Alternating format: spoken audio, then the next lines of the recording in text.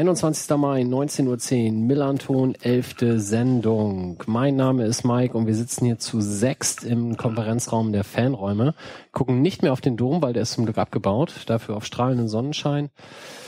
Und es war unfassbar warm, von daher freuen wir uns alle, dass wir hier kalte Getränke auf dem Tisch stehen haben. Ich fange mal rechts von mir an. Stefan, hallo, herzlich Hallo, willkommen wieder. Ja, stark. Elfte Sendung schon, verdammt. Boah, ich bin erst das zweite Mal hier. Ist ja schon. Ja, Ja, ausbaufähig. sorry. Aber ich bin da. Hallo. Zu seiner Rechten, Wolf, Nabend. Hallo, ich trinke gerade Viva Con Agua, da steht laut drauf, aber da ist überhaupt keine Kohlensäure drin. Also ich habe irgendwie die Muggelpackung erwischt gerade. Das ist für die Sendung vielleicht nicht so schlimm. Zu seiner Rechten, unser heutiger Stargast. Hallo Thomas. Gast, ja, Stargast ist was anderes. Naja, erzählen wir gleich mehr zu. Zu seiner Rechten, Sebastian, Nabend. Guten Abend, hallo. Und ich freue mich so, dass der Dom weg ist. Und last but not least, zu meiner Linken, Christoph. Guten Abend. Wunderbar. Ja, wir haben tatsächlich noch nicht ganz ein Jahr rum, aber zumindest unsere erste Saison abgeschlossen und finden uns jetzt hier ein, um so eine Saisonabschlusssendung zu machen. Aber tatsächlich wird der erste Teil damit bestritten werden, dass wir uns einem ganz speziellen Thema widmen. Und dazu ist besagter Gast da. Der Gast ist nämlich Thomas Meckle, der Trainer unserer U23. Ähm, zunächst mal vielen Dank, dass du dir die Zeit nimmst. Gerne. Und ähm, wir haben unfassbar viele Fragen an dich bekommen. Aber erzähl doch erstmal, wie geht's dir so mit deinem Team? Ihr habt noch ein Spiel. Es ist eine Saison, die relativ gut gelaufen ist. Wie, wie siehst du euch momentan? Bist du rundrum zufrieden? Wir haben ja schon am Anfang der Saison thematisiert, dass wir uns von Tabellenplätzen loslösen wollen, soweit es nicht darum geht, dass wir auf dem Abstiegsplatz stehen. Entscheidend ist bei den Jungs die Entwicklung. Und wenn man jetzt so sieht, wie sich die Jungs entwickelt haben, was wir für einen Fußball spielen, wie es in der Hinrunde aussah, wie es in der Rückrunde aussah, dann ist das schon eine sehr gute Entwicklung, die die Jungs genommen haben. Und das ist jetzt mal so ein allgemeines, globales Fazit, dass die Jungs echt eine super Entwicklung genommen haben. Es war echt, echt eine schöne Saison mit ihnen. Wir haben, wir haben ganz viele 94er, Jahrgang 94 in unserem Kader, viele aus der A-Jugend, aus unserer U19 hochgeschossen, weil wir bewusst gesagt haben, wir wollen Talente ausbilden, wir wollen mit unseren eigenen Jungs arbeiten. Und da war klar, dass man am Anfang in so ein kleines Loch hineinfällt, aber wie sie sich da rausgekämpft haben, das zeigt schon von ungemeinem Charakter. Aber davon waren wir auch am Anfang der Saison, der Saison überzeugt, dass das ein sehr charakterstarker Jahrgang ist. Ich habe ähm, nach der Hinrunde gab's Platz 17 mit 16 Punkten und ich habe eine Winterpause auf, von Eva Kala auf Facebook gelesen. Ich bin total entspannt, weil das sind alles Leute, die aus der A-Jugend kommen und die werden in der Rückrunde schon ihre Punkte sammeln. Und wenn man jetzt guckt, noch ein Spiel weniger in der Rückrunde gehabt, trotzdem 27 Punkte, genau das, was du sagst, super gelaufen. Ähm, wir haben von unserem Hörer Stefan geschickt bekommen, ähm, wenn ihr gewinnt in Kloppenburg am Freitagabend, dann wäre sogar noch Platz 8 drin. Schlechter wäre maximal Platz 12, was noch erreichbar ist. Ähm, das wäre dann die gleiche Platzierung wie die Profis, wenn ihr Achter werdet. Ist das intern eure Benchmark, die ihr da erreichen wollt?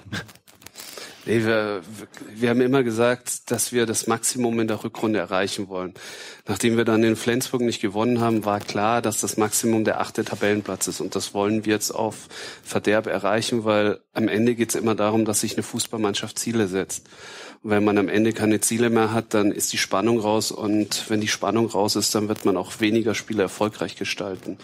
Deshalb haben wir immer gesagt, wir wollen unbedingt den achten Tabellenplatz. Und deshalb bin ich auch froh darüber, dass, dass auch viele Fans mitfahren werden, viele U23-Sympathisanten, damit die Jungs da auch noch mal einen Kick bekommen, hey, wie geil ist es, dass da 100, 150 Leute wegen uns nach Kloppenburg fahren und dass sie da echt marschieren. Haben ein bisschen Probleme, hab gerade im Moment immer nur 19 Leute auf dem Feld, weil wir sehr viele Verletzte haben, Abstellungen, Abiturprüfungen, muss man auch alles mit einberechnen. Im Moment gerade, aber trotzdem glaube ich, dass die Jungs da am letzten Spieltag mächtig Gas geben werden. Sehr gut. Ja, aber denk mal natürlich, das war noch Zeit, ne? Fuß, als Fußballer und Abitur als komplette Gegensätze gesehen würden, da hätten wir das Problem gar nicht. Verdammte Bildung. Das, das ist die wahre Bildungskrise im Fußball. Ich bin hier für die albernen Einwürfe zuständig. Die Kompetenz sitzt gegenüber. Wir haben das hier sehr schön eingerichtet. Ja, ähm, wieder zurück zum, äh, zu den Sachfragen. Sachfragen, ja, sehr schön. Ähm, ich gestehe ja, ich habe relativ viele U23-Spiele gesehen, wobei die, die wohl beeindruckendste war die Fahrt nach Eichede über sämtliche Dörfer dieser Welt, wo man mit öffentlichen Verkehrsmitteln gar nicht hinkommt. Und das war für mich tatsächlich furchtbarer Amateurfußball. In der ersten Halbzeit gar nicht von uns, weil da haben wir ganz gut gespielt. Und dann haben wir uns von dieser, ich will nicht sagen Kegeltruppe, weil es klingt sehr abwertend, aber wenn ich die körperlich gesehen habe, sahen die teilweise so aus, so ein bisschen den Schneid abkaufen lassen. Jetzt, ähm, wir haben vorhin schon kurz gesprochen, nächstes Jahr kommen wieder sehr viele Adenjugendliche hoch. Wie erklärst du denen, dass man in Eichede ein bisschen mehr kämpfen muss? Ich glaube, das ist, das hat gar nichts mit Kämpfen zu tun, sondern, sondern die, die Jungs aus der U19 sind halt auch nicht gewohnt, dass sie gegen Männer spielen, die technisch und athletisch unterlegen sind, aber am Ende im Zweikampf richtig fies agieren. Sondern dann auch mal den einen oder anderen Spruch fallen lassen, über Härte unsere Jungs beeindrucken und das sind Erfahrungswerte, die sie da mitnehmen und dann machen wir es beim nächsten Mal besser. Aber Mike, du hast recht. Eichede war für mich, also das war für mich das allerschlimmste Spiel, weil ich habe es genau so gesehen wie du. Am Ende standen die dann im Trikot da, haben eine Kiste Bier gesoffen, im, im Trikot, Hose an, Fußballschuhe aus, so wie, wie bei Teutonia nach dem Spiel in der Kreisliga B. Haben dann noch eine Kippe dazu angezündet und dann kommen wir dorthin, haben 80 Minuten alles im Griff, müssen, müssen praktisch das zweite, dritte machen, schaffen es nicht. Und wie aus dem Nichts heraus verlieren wir das Spiel 3-1. Und das, das sind aber Erfahrungswerte, die gerade die Jungs mitnehmen müssen. Und dann setzen sie es im Normalfall auch gut um. Da muss der Lerneffekt dann eintreten. Sebastian. Ist es denn dann, wenn du jetzt von Erfahrungswerten sprichst und die sind irgendwie alle noch unglaublich jung, ist es dann vielleicht sogar besser, wenn man mal solche Negativerlebnisse drin hat, damit da auch was passiert? Oder wäre es optimaler, wenn ihr die ganze Saison alles gewinnt? Nee, ich glaube, diese, diese Negativerlebnisse prägen auch ein. Weißt du, wenn, wenn du jetzt dieses, wenn du jetzt so ein Spiel gewonnen hättest, dann hätten sie es gar nicht wahrgenommen, was sie eigentlich tun müssen, um Spiele zu gewinnen, mhm. sondern dann wird es als Normalität angesehen. Auch jetzt gegen Havelse. Havelse hat uns direkt vorne gepresst, hat zugestellt, hat mit einer Robustheit angelaufen, im Tempo angelaufen, im Männerfußball gut angelaufen. Und da waren die Jungs dann vom Kopf her noch gar nicht so schnell dabei. Und das sind alles Erfahrungswerte, aus denen sie lernen. Und am besten lernen sie daraus, wenn, wenn sie dann auch tatsächlich hinfallen. Das ist wie bei meiner Tochter. Wenn ich zu ihr sage, die Herdplatte ist heiß, guckt sie mich an, klar, Papi, die ist heiß. Ja, ja, klar. Aber am Ende glaubt sie es mir erst, wenn sie draufgefasst hat und dann die Schmerzen gespürt hat. Deshalb ist das, ist es dann auch, ist es auch ganz gut, mal solche negativen Erfahrungen mhm. zu machen. Aber insgesamt, glaube ich, ist es der Mix, der es ausmacht. Auf der einen Seite negative Erfahrung, positive Erfahrung. Und daraus entsteht dann eine Entwicklung. Aber die Entwicklung kann man als Trainer nur unterstützen. Am Ende müssen die Jungs dann durch die Tür gehen und das haben sie echt klasse gemacht. Du musst die Entwicklung aufnehmen. Wenn der Trainer sagt, Jungs, Eichede spielt robust Fußball, ihr müsst dagegenhalten, ihr müsst da bereit sein, ihr müsst euch jetzt darauf einstellen, was gleich kommt. Wenn dann einer äh, in der Kabine sitzt und sagt, glaube ich dem Trainer eh nicht, dann wird er gegen eine Wand laufen. Und wenn, wenn er das drei, vier Mal so sieht, dann ist dann auch kein Entwicklungsprozess zu sehen. Mhm. Christoph. Ähm, wie verhindert man denn äh, oder wie vermittelt man dann Dinge, für die man die Erfahrung jetzt so noch nicht haben kann? Also am Anfang der Saison musstet ihr euch ja erst zusammenfinden, Team ja auch sehr jung, ganz viele aus der A-Jugend dabei, hattest du ja schon erzählt. Wie, wie erzählt man denen dann, dass sich das finden wird? Weil da können sie ja nicht aus der Erfahrung dann gehen, weil sie das auf dem Level ja noch nicht kennen. Da kommt das dann, hilft dir dann auch deine Glaubwürdigkeit, dass du das als, als Profi schon alles erlebt hast in guten und schlechten Phasen? Es geht gerade zu Beginn darum, eine eigene Strategie zu entwickeln. So, das heißt, wie wollen wir ohne Ball agieren, wie wollen wir mit Ball agieren, wie wollen wir in den Umschaltsituationen agieren, dass man ihnen gewisse Handlungsmuster oder Lösungsmöglichkeiten mit an die Hand gibt, dass sie dort schon mal Sicherheit haben. Das andere, deshalb versucht man ja auch gerade Testspiele gegen sehr robuste Mannschaften auszumachen. Das ist dann wieder das nächste Thema. Und so tastet man sich dann an eine Saison ran. Es ist ja genauso, wie du es gesagt hast Am Ende glauben sie es halt nur, wenn sie es selbst erfahren. In der Hoffnung, dass es nicht, dass es gut ausgeht, aber manchmal geht's halt auch nicht gut aus. Aber die Erfahrung müssen sie machen, die haben wir alle in gewissen Bereichen gemacht, ob Fußball, Job oder wie auch immer. Aber da kann man sie dann nicht schützen. Also ausbildungsmäßig war es dann jetzt eine Saison wie vom Reißbrett quasi, ne? Alles erlebt, ein bisschen Hängephase gehabt und dann gemerkt, kommt trotzdem hin. Aber auch nicht zu überlegen gewesen, sonst würden sie dann vielleicht abheben und so. Das siehst du ja, das siehst du ja gerade bei jungen Spielern. Du merkst, im Sommer, in der Sommervorbereitung, die Sonne scheint draußen, es ist bis 22 Uhr hell draußen, Glückshormone, sie freuen sich, dass sie in den, hell, dass sie in den Herrenfußball kommen, dass eine neue Aufgabe auf sie zukommt. Alle sagen, oh, ein toller Schnitt, jetzt kommt eine ganz eine tolle neue Erfahrung auf dich zu. Du spielst jetzt U23 bei St. Pauli Übergang Herrenfußball, da werden noch viel, viele Hormone ausgeschüttet dadurch funktioniert vieles, dann werden sie, äh, verlieren sie ein bisschen den Boden unter den Füßen, dann verlieren sie ein, zwei, drei Spiele und plötzlich fangen sie an zu überlegen. Dann wird schon mal herbstlicher draußen, kälter, dunkel draußen und, und plötzlich sind sie da in so einem Loch drin und aus dem Loch muss man die Jungs dann wieder rausholen. Wir waren in dem Loch auch drin bis, bis zum 14., 15. Spieltag. Dann kam Werder, wo wir schon echt gut gespielt haben. Wolfsburg haben wir echt gut gespielt, haben dann die Punkte nicht geholt und den Entwicklungsschritt hat man dann auch vom Ergebnis her am letzten Spieltag vor Weihnachten gegen Wilhelmshaven gesehen. Und da muss man dann auch wieder sagen, Dezember, Januar hatten wir dann keine Punktspiele und das sind dann auch wieder zwei Monate. Stellt euch nur vor, wie sich eure kleinen Kinder in zwei Monaten entwickeln. Und das ist dann auch bei Fußballern so. Dann sind viele Dinge automatisiert, dann sind sie im Kopf frei für neue Inhalte, für neuen Input und dadurch findet dann die Entwicklung und dadurch wird dann eine Entwicklung gefördert. Hattest du von den Spielen her Highlights, also das gerade das, das ähm, Wilhelmshaven-Spiel angesprochen? Danach kam dann gleich das Derby, was ihr auswärts dann ja gewonnen habt. Haben, habt ihr nach dem Derby-Hinspiel, was ja am Millantor war, mal gesprochen, dass das ein besonderes Erlebnis war, gerade im Vergleich zu den Heimspielen in der hohe Luft? Natürlich haben wir darüber gesprochen und war auch interessant zu, also für mich gab es dann zwei, zwei, äh, zwei interessante Beobachtungspunkte. Das war auf der einen Seite das Derby gegen den HSV, Millantor, viereinhalbtausend Zuschauer und das Spiel gegen den HSV, gegen, gegen eine Mannschaft aus der gleichen Stadt. Und das nächste Spiel war unser Live-Spiel am Montagabend gegen Meppen. Hm. Kameras waren aufgebaut, Field Reporter wie, wie beim Montagabend Live-Spiel. Man konnte sich schon ähnlich wie ein Profi fühlen. Wie gehen sie mit der Situation um? Und ich kenne ja meine Mannschaft auch ein bisschen. Äh, die sind, in, ähm, die sind beim Hinspiel im Derby eingelaufen, ganz klein gewesen, haben, haben nach links und rechts geguckt und konnten es gar nicht fassen, dass wegen ihnen viereinhalbtausend Zuschauer da sind. So, da hast du so richtig gemerkt, oh, oh ist das so, ist das spannend hier. Oh. Und, und da war der Fokus gar nicht auf den Fußball gerichtet. Und, und so haben sie dann auch Fußball gespielt. Nichtsdestotrotz haben wir dann das Spiel wegen eines Freistoßes verloren wir waren jetzt, wir haben jetzt nicht gut gespielt, aber weißt du, ich, ich versuche ihnen dann immer wieder mitzugeben, Leute, auch wenn es nicht gut war, was wir gemacht haben, 0-0 können wir immer mitnehmen. Wenn wir, wenn wir zumindest das verteidigen, das uns erkämpfen.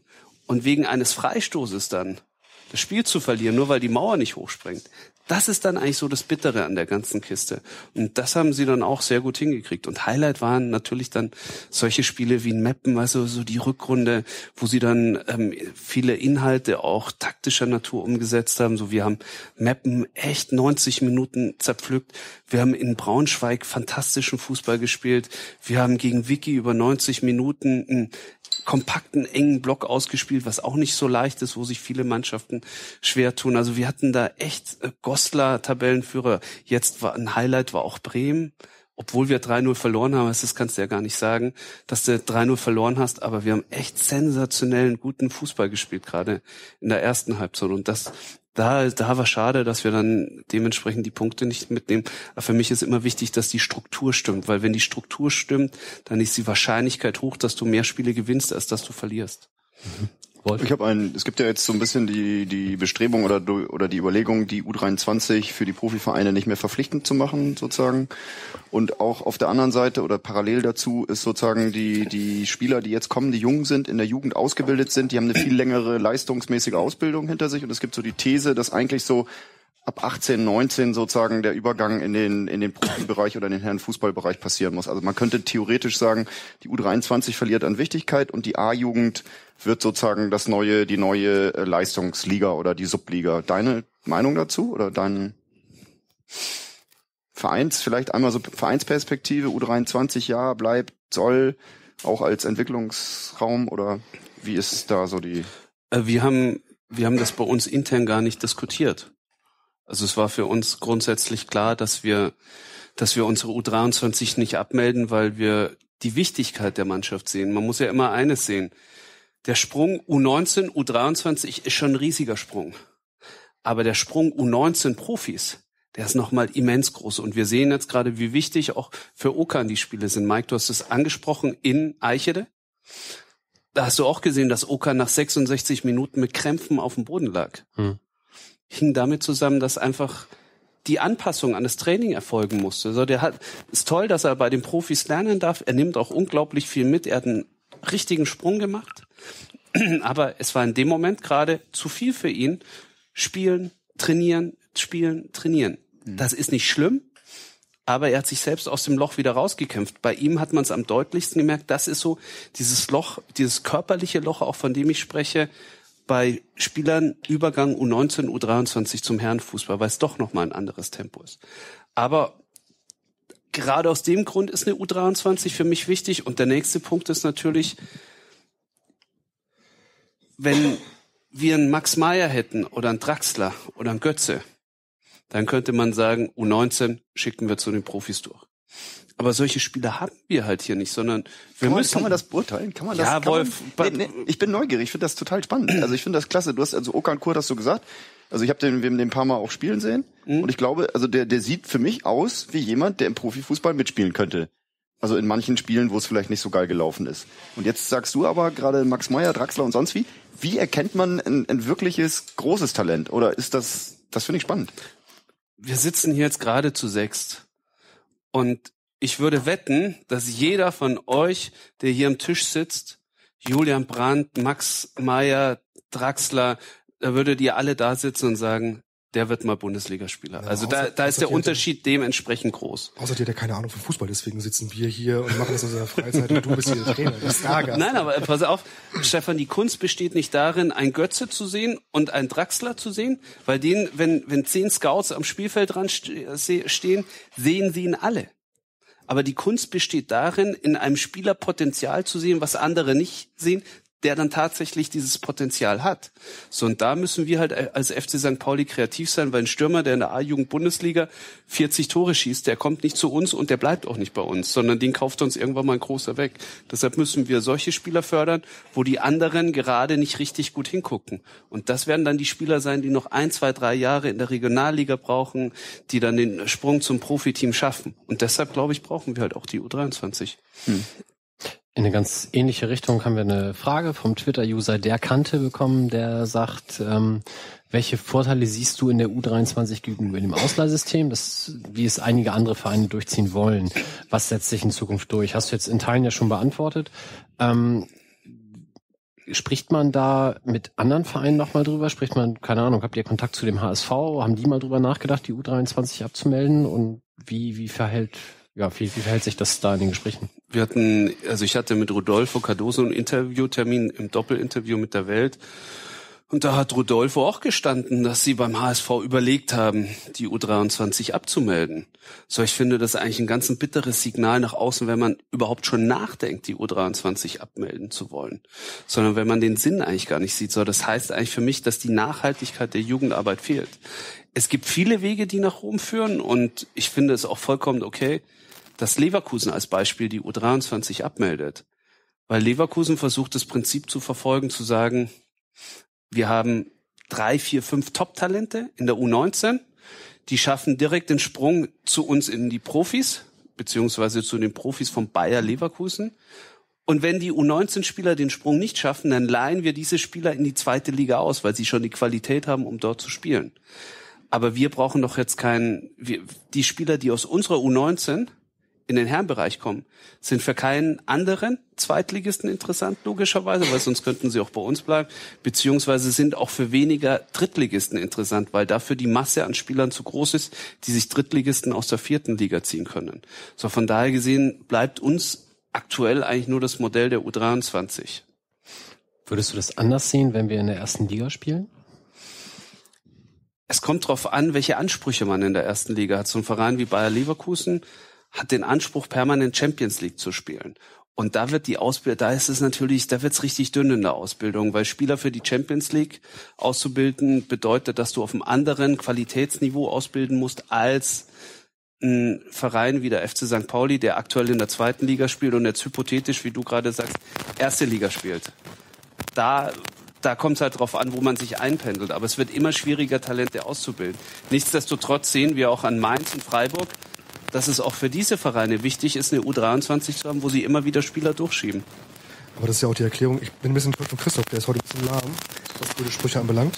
Ich hoffe, man versteht mich ob des Knisterns. Ja, das, ähm, ist, aber das, das ist jetzt hier die kosmische Strahlung, die über die Phantomspeisung aufgenommen wird. das, was du gerade erklärt hast, äh, Thomas, ist ja dann auch schon die Begründung dafür, warum Rodolfo Cardoso dann sagt, äh, der HSV überlegt, die U23 abzumelden. Haben Sie kurz thematisiert, ja. Also aber haben Sie haben sich jetzt dagegen entschieden. Ja, vielleicht nur kurzfristig. Die haben ja den Anspruch. Schönere Meldung wäre gewesen, U23 überlegt, den HSV abzumelden. Aber naja, gut. Frauenfußball haben sie auch schon abgemeldet, oder? Der HSV meldet absolut alles ab, glaube ich. Das, äh, bis auf die Leute, die niemals absteigen. Die werden nicht abgemeldet. bis auf den Dino. genau. Ja gut, der HSV hat ja momentan auch noch die Problematik, dass die U19 am Wochenende, wenn es doof läuft, oder wie auch immer, wenn es so läuft, dann äh, kann die U19 noch absteigen aus der A-Jugend-Bundesliga und dann ist der Schritt natürlich nochmal ein ganz anderer. Aber gut, das ist nicht unsere Sache. Die üben den Abstieg mit der Jugend. Das ist doch so das ist ein ganzheitliches Konzept, meinst du? Das ist so, ja. Du meinst, die erfahren das jetzt schon? Die erfahren das dann, jetzt was schon. sie in den kommenden genau. Saisons zu ertragen genau. haben. Gut. Die sammeln die Abstiegserfahrung, die dann später benötigt wird, um das dann auch im Profi-Herren-Fußballbereich zu schaffen. Ich glaube, dieses HSV-Paradoxon, das äh, ist schon irgendwie, das macht schon Sinn. Ich glaube, es muss da irgendwas geben im Weltgefüge, das dazu führt, dass man mit 27 Punkten und ich weiß nicht, wie viel 75 Gegentreffer so, dass das irgendwie funktioniert. Das kann auch, glaube ich, nur bei einem Verein funktionieren. Das ähm, ich befürchte, auch ein A-Jugendabstieg wird daran nichts ändern. Leider. Ja, die, die müssen auch verlieren bei Union und Erfurt muss gleichzeitig gegen Rostock punkten. Also es ist nicht so wahrscheinlich, aber es könnte passieren. Ähm, großes Thema, was wir jetzt im Übersteiger letztens hatten, ist ein Artikel von Ronny, den, ähm, der ja beschreibt, was mit dem Spielort der U23 passiert. Vielleicht gerade die, die es nicht gelesen haben, ganz kurz zusammengefasst. Es ist ja so, dass wir seit einigen Jahren an der Hohe Luft spielen. Vorher hat die U23 an der Weidmannstraße gespielt, was ja sehr viel Heimelliga war und auch einen großen Beliebtheitsgrad bei den Leuten, die da waren, zumindest hatte, was sicherlich kaum jemand von der Hohe Luft behaupten wird durch die sehr hohen Zäune dort. Jetzt ist es so, dass der Verein bekannt gegeben hat, wir spielen nächstes Jahr in Norderstedt, im Edmund Plumbeck Stadion, wo auch Eintracht Norderstedt seine Heimspiele austrägt, was nicht sonderlich viel schicker ist als die Hohe Luft, aber wahrscheinlich ein bisschen günstiger. Und das, was im Artikel, glaube ich, für die meisten dann die Neuigkeit war, ist, danach will man zurück an die Weidmannstraße. Magst du da mal was zu sagen? Also der Ausgangspunkt für uns war einfach, dass, dass die Zusammenarbeit mit bestimmten Personen bei Victoria schlecht war. So gerade was so die Platzverhältnisse angeht, das war zwischenzeitlich eine tatsächliche Vollkatastrophe. Also es war für eine Mannschaft, die vieles fußballerisch lösen muss und gegen Herrenmannschaften nicht über lange Bälle und den zweiten Ball kommen kann, echt ein Problem. Sieht man vielleicht auch so ein bisschen an unserer Heimbilanz, dass wir zu Hause schlechter abschneiden als auswärts, weil wir teilweise auswärts bessere Plätze zur Verfügung haben. Der erste Punkt war da, dass wir gesagt haben, in der Ausbildung brauchen wir einen besseren Platz für die Mannschaft. Das war der erste Punkt. Der nächste Punkt war natürlich, und das war auch ein ganz entscheidender, dass wir sagen, wir sparen uns bei Norderstedt ein bisschen Geld und ich bin gerade und die und der Umbau der Weidmannstraße kostet natürlich auch ein bisschen Geld. Wir sind da seit Oktober dabei, holen uns Kostenvoranschläge ein und ich, ich, ich kann euch jetzt schon genau sagen, was ein Stabmattenzaun verzinkt, Höhe 1,63 125 laufende Meter, was das kostet. Weil, warum, weißt, warum weißt du das? Musst, musst du dich da um Zäune kümmern? Das mache ich alles, weil das, weil das so, ich bin Ich bin auch mit dem Thema angetreten. Ich glaube, Stefan, darüber haben wir uns auch vor der Saison unterhalten. Habe ich mich auch mit Roger unterhalten dass, dass die U23 eine Identität braucht. So, ich bin ja selbst, ich bin 97 aus München gekommen und immer wenn ich bei den Profis nicht gespielt habe, durfte ich bei unserer U23 spielen. Und das war, das ist auch ein Teil meiner St. Pauli-Identität, wo ich den Verein darüber kennengelernt habe, wo ich Freunde gefunden habe in der U23. Wenn ich mich noch an den letzten Pfennig erinnere, die Bier, äh, die Bierkistendiskussionen, das waren total geile Geschichten, die Spaß gemacht haben. Und das ist auch ein Teil meiner Identität. Und ich finde es unglaublich wichtig, dass Spieler aus der U23 auch zum Austausch mit Fans kommen. Wie es an der Weidmannstraße möglich ist, wie es äh, an der Sternschanze möglich war, aber wie es jetzt bei Wiki leider nicht möglich ist. Zu viele Zäune, kein Flair, wenig Zuschauer. Das ist, Wiki muss man halt sagen, auch Norderstedt, muss ich fairerweise zugeben, ist halt nicht unser Kiez. Das ist fairerweise zugegeben. Gut. Ja, ja. Ist nicht so. Und ich kann auch die Kritiker verstehen, die sagen, wieso geht's denn jetzt nach Norderstedt? Aber weißt du, ich muss halt auch zusehen, dass wir A, einen vernünftigen Platz haben, dass wir nicht permanent mit irgendeinem Ochsen streiten müssen, dass, dass dort vernünftige Bedingungen vorherrschen. Auf der anderen Seite sparen wir uns dadurch ein bisschen Geld und das ist dann auch wieder eine Argumentationsgrundlage zu sagen, wir wir können das dann realisieren, weil ich möchte da nicht bei irgendeinem Verantwortlichen vor der Tür stehen. Ich brauche mal Kohle, weil wir haben im Moment so viel, so viel Neubauten und so viel Themen auf der Agenda, die so wichtig für den Verein sind. Kollaustraße 2, wichtiges Thema, super wichtiges Thema. Hm. Dann äh, Nordtribüne ist ein wichtiges Thema. Toll, dass wir die Kollaustraße realisiert haben, Kollaustraße 1, dass der Bauabschnitt fertig ist. Das ist für uns als NLZ unglaublich wichtig, Spielern zeigen zu können, dass hier was vorwärts geht. Und deshalb will ich da nicht ein Gesamtetat belasten, weil jeder kommt irgendwo um die Ecke und sagt, ich will Geld haben. Es ist immer leicht zu sagen, ich will Geld haben, aber kreativ zu sein und zu sagen, komm, wir versuchen das irgendwie anders zu realisieren, das, das ist so das Thema. Also das sind eigentlich so die wichtigsten Themen. Aktuell ist der Stand so, dass wir mit Union in sehr, sehr guten Gesprächen sind. Es gibt noch ein paar Zaunhöhenthemen, dass, dass der Norddeutsche Fußballverband einen Zaun an der Stelle einfordert von 1,63, wo ich sage, äh, da können wir keinen Zaun von 1,63 hinbauen, sondern maximal Bauchnabelhöhe. Weil das macht auch Union nicht mit. Dann spielen aktuell sechs Teams noch auf dem Platz. Das heißt, dass man zusehen muss, dass dort dass dort Union Kunstrasenplatz bekommt, aber wir haben jetzt dort ein Jahr Zeit, dann kann man mal zusehen, dass man, dass man das Ganze realisiert. Aber echt, aber der Rasenplatz macht doch irgendwie so ein, also ein Freiland von Sonne beschienener, von Wind bewehter Rasenplatz, der eigentlich einen ganz guten Eindruck macht. Also wenn man so oberflächlich drauf guckt, oder ist das täuscht das? Das täuscht. Also okay. das ist ja gerade das Interessante, Wolf wenn man auf der Tribüne bei Wiki sitzt, wenn ich auf der Tribüne bei Wiki sitze, dann denke ich mir mal, die Zuschauer müssen ja denken, der Meckle ist voll bekloppt, wenn der immer erzählt, wie beschissen der nee, Platz nee, ist. Nee, das siehst du als Zuschauer, finde ich, finde ich, an der hohen Luft, siehst du, dass das ein grausamer Horroracker ist. Und als Zuschauer bei Union, finde ich, würde man sagen, wow, das ist ein schönes, schönes Grün.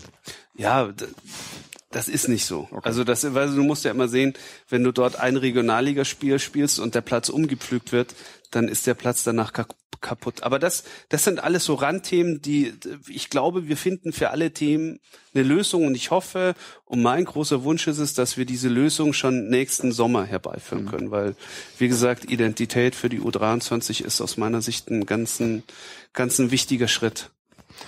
Ist denn dann angedacht, dass man vielleicht, um diese Identität auch in dem Jahr beizubehalten, vielleicht ein, zwei mehr Spiele am Millantor macht oder wird es wahrscheinlich dann wieder nur in Anführungsstrichen das Derby? Kann ich dir nicht sagen, das weiß ich nicht. Okay. Also über dieses Thema haben wir so aktuell noch nicht gesprochen. Aber es werden äh, alleine, wenn Lübeck aufsteigt, könnte das ein Sicherheitsspiel werden, wo wir ins Millantor gehen. HSV könnte ein Spiel sein, wo wir ans Millantor gehen müssen. Also das wären schon mal zwei Spiele, die mir an der Stelle spontan einfallen. Sebastian. Ähm, weil du vorhin was meintest im Sinne von, das ist eine andere Erfahrung und die lernen dadurch ja auch was, wenn sie irgendwie im großen Stadion spielen vor mehr Zuschauern. Ist das dann auch, ich sag mal, Teil eines pädagogischen Konzeptes irgendwie, Heranführung an Herrenfußball und vielleicht später an die zweite Liga, mal im Millantor zu spielen aus den Gründen oder ist das aus rein logistischen Gründen Thema? Nee, das war, also wir haben tatsächlich im Sommer Millantor gespielt, weil wir, weil wir auch mal den Jungs ein Millantor-Spiel schenken wollten, in der Hoffnung, dass auch viele Zuschauer kommen, was sich dann auch tatsächlich realisiert hat. wir, wir brauchen jetzt nicht thematisieren, dass wir gegen Reden am Millantor spielen, wo an der hohen Luft 105 zahlende Zuschauer waren. Da wird diese, da wird dann die Ausbildung vor Zuschauern nicht richtig greifen. Aber es genauso wie du sagst, es, es ist ganz gut, wenn man solche Spiele damit einstreuen kann, weil auch daraus lernen sie. Auch das ist dann wieder ein interessanter Aspekt. Christoph ähm, Thema äh, an, an den Herrenfußball heran, äh, spüren, äh, heranführen. Ähm, in Sachen Ansprache muss man doch sicherlich anders arbeiten, wenn man es mit sehr jungen Spielern zu tun hat, als wenn man nur mit gestandenen äh, Profis zu tun hat. So, äh, du hattest ja zwischendurch auch schon eine Phase, bevor vor der äh, U23 äh, äh, Trainingsphase, wo du noch jüngere Spieler trainiert hast. War das für dich auch wichtig, um so von dem sicherlich ziemlich harschen, äh, wir sind hier unter Profis äh, Ton äh, runterzukommen? Oder wie übt man sowas, dass man jetzt die jungen Spieler nicht total planiert? Ich glaube, da das, das hat damit zu tun, dass du das richtige Gefühl dafür entwickeln musst, was in der richtigen, was in der Situation gerade notwendig ist.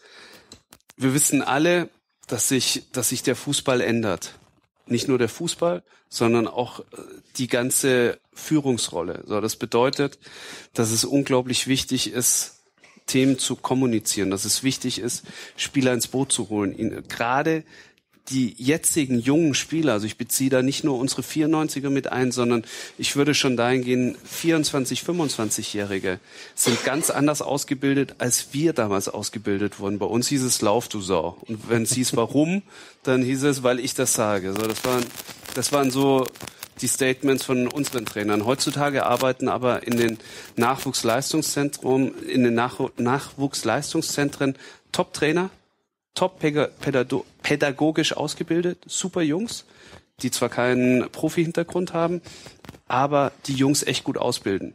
So, und, da, und die Jungs hinterfragen auch gewisse Dinge. Also die Jungs stehen da und fragen Trainer, aber wenn wir das jetzt so machen, dann stehe ich da und denke mir, Mensch, smarte Frage. Echt gute Frage. Zum Glück hat jemand diese Frage gestellt, weil dann ist wieder klar geworden, dass, dass dieses Thema noch nicht ganz klar ist. Ich versuche gewisse Dinge zu erklären, aber es ist immer so dieses Thema Sender-Empfänger. Und man kriegt da nie 25 mit einer Erklärung hin und das, äh, das auf eine Ebene und deshalb muss man zusehen, dass es immer mal wieder hier eine Nachfrage gibt. Und mir ist wichtig, dass, dass die Jungs immer Fragen stellen weil ich sage Ihnen immer, wenn ihr keine Fragen stellt und der Trainer das nicht zulässt, dann kann das nämlich nicht erklären. Fragt, bis ihr es verstanden habt, bis es der Letzte verstanden hat. Nur dann können die Inhalte klar werden. Das ist ein riesiger Unterschied gerade von der Ansprache, dass man, dass man die Jungs ins Boot holt. Warum macht man das? Die wollen das wissen. Früher, äh, da, ein Trainer, Videoanalyse lief so ab, 90 Minuten DVD oder damals noch eine VHS-Kassette eingelegt, hat er eingelegt und dann saß er da, der Alte, und hat gesagt, äh, guck mal, Mike, wieder ein Fehlpass gespielt. Ja, das sehen alle. Das weiß ich auch, dass ich einen Fehlpass gespielt habe. Aber lösungsorientierte Ansätze zu liefern, das ist eigentlich so das, wo man, wo man heute hin muss. Und am Ende hat, wahrscheinlich, hat dann der Trainer die Videoanalyse abgebrochen, weil er sich selbst verheddert hat. Aber genug von Uli Maslow. Also das hast du gesagt.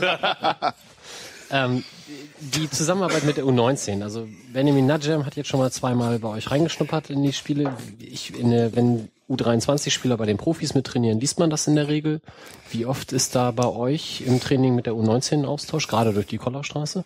Ganz häufig. Also ich habe morgen wieder fünf Jungs dabei. Benny Natschem trainiert immer mittwochs bei mir mit. Finn Tiedemann mittwochs nachmittags. Also wir haben da, wir haben da einen regen Austausch. Wie viele kommen da hoch zur neuen Saison? Und auf wen freust du dich besonders? Oh.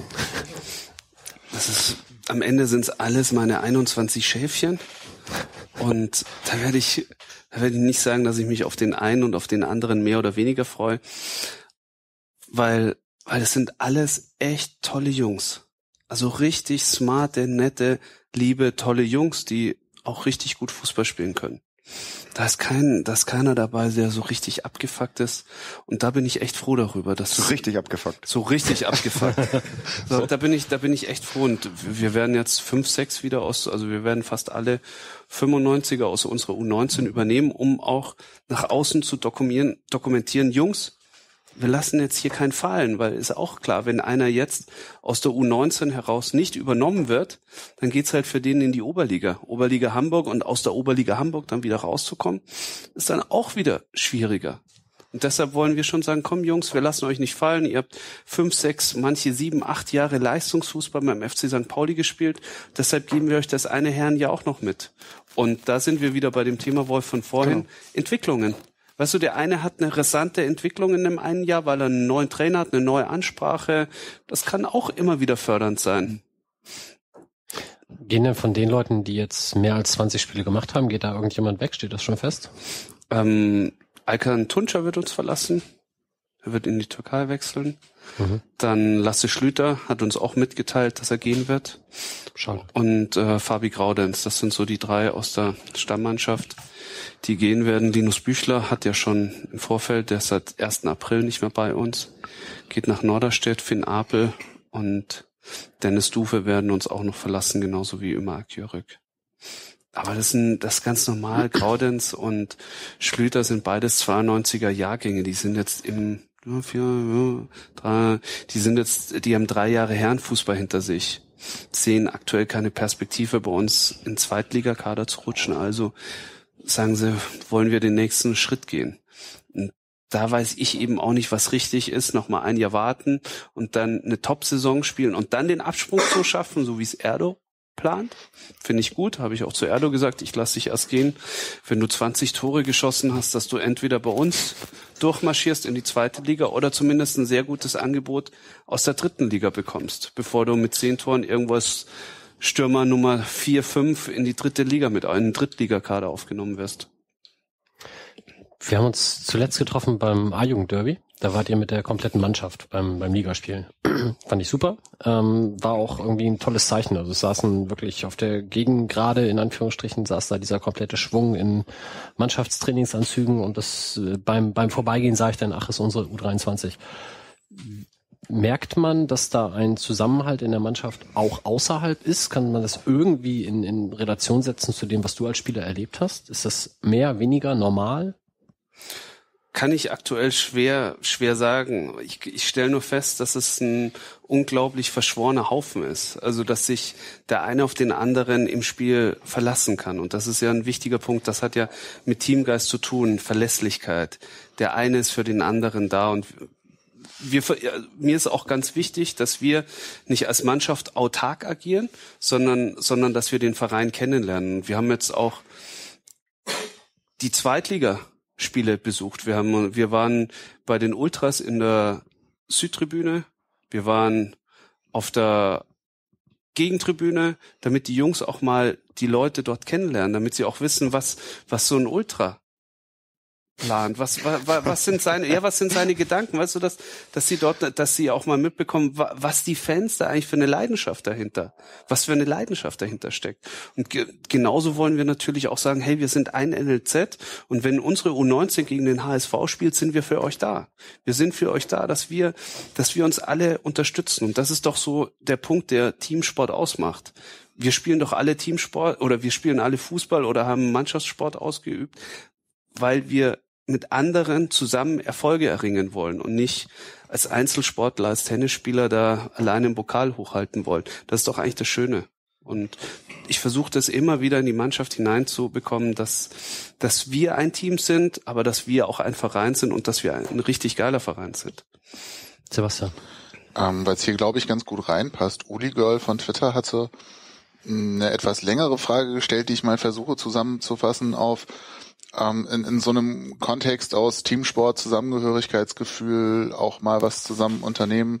Und ich sage jetzt mal FC St. Pauli mit irgendwie Hintergrund und politischen Werten und weiß ich nicht.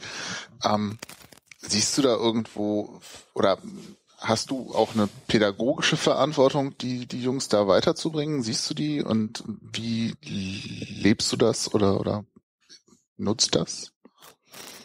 Ja, logisch habe ich auch eine pädagogische Verantwortung den Jungs gegenüber, aber ich habe jetzt die Frage nicht ganz verstanden, okay, muss ich dir ehrlich gestehen. Also den ersten Teil, ja, politische Verantwortung, pädagogische Verantwortung, logisch. U19, das sind 94er, ja, das ist ein 94er Jahrgang und das sind alles ganz sensible Spieler, die haben so viel im Kopf.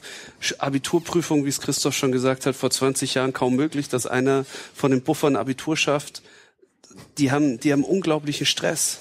Und da hat man eine große Verantwortung den Jungs gegenüber. Und da gibt's auch viele Sorgen, viele Nöte, die man sich, in die man sich immer wieder hineindenken muss als fast 40-Jähriger wie ich.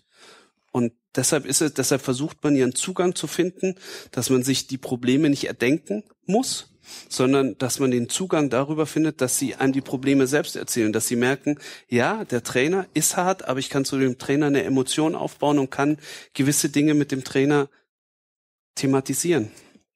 Ich glaube, Hintergrund der Frage bei Kerstin war ja auch so ein bisschen jetzt das Ganze, was am Ballermann passiert ist. Stefan hatte dazu auch noch eine Frage. Er, er greift ganz schnell das Mikrofon. Ich habe extra so eine elendlange äh, Frage gestellt, weil ich dachte, ich muss Das verstehe ich jetzt schon wieder nicht. Und Stefan hat eine Schriftrolle in der Hand, muss man unseren Zuhörern sagen. Die Schriftrolle sieht sehr lang aus. Hier stehen viel tollere Sachen auf deinem Zettel, Mike. Wie zum Beispiel 2000 bis, äh, nee, 2002 bis 2005. Steht irgendein Verein, den ich nicht lesen kann, bei Thomas Meckle. Da hast du doch dein Praktikum gemacht zu deiner Studienzeit und jetzt versuchst du mich da reinzureißen, ne? Nee, ist eine Da habe ich dich noch mit der Hansa-Kogge auf der Stadt. Brust rumlaufen sehen, Stefan. Ist das, ist das so? Erzähl mal, Thomas. Finde ich Ja, interessant. Also und jetzt Stefan beschreitet Schatz, er das Stefan. Stefan. Schatz hat Stefan- in Rostock gelernt. oder Ja, so. genau. Sein, sein Praktikum gemacht während seines Da Studiums. hätte ich bestimmt mehr gelernt als bei Heiko damals. Aber naja, ähm, ich Da habe war er Fanbeauftragter bei Hansa Rostock? Ja, genau. Ich hab neulich im gelesen. Praktikant. Ich habe neulich im Kiezgänger gelesen, ich sei in Osnabrück geboren. Fand ich auch super. Ja, aber lenk doch mal nicht ab, aber das ist doch total hochinteressant, Meine, ey. meine, meine Frau fragte mich, hä, du bist in Osnabrück geboren? Sag mal, ihr wart zur gleichen, ihr wart zur gleichen Zeit in Rostock. Oh, das sollten wir weiter stricken, Thomas. Ja, das ist total gut, das ist war- geil. Wir, wir, Ist waren das zu, jetzt- wir waren zur gleichen Zeit in, in, in Rostock. Wir haben da, ähm, Wir haben uns da beide- kennengelernt. Ja, wir haben uns da, wir haben uns da so, allerdings beide so wenig Geld verdient, dass wir zwischendurch noch so Ostseefahrten anbieten mussten. Da haben wir uns dann damals selbstständig gemacht mit. Und, ja, völliger Humbug. Wir haben keine Zeit. Komm, mach ernsthaft. Wir haben keine Zeit. Also ernsthaft. Keine Zeit, das ist ehrlich. Ich meine, nur, es ist das Tatsache. Du völliger warst, Schwachsinn.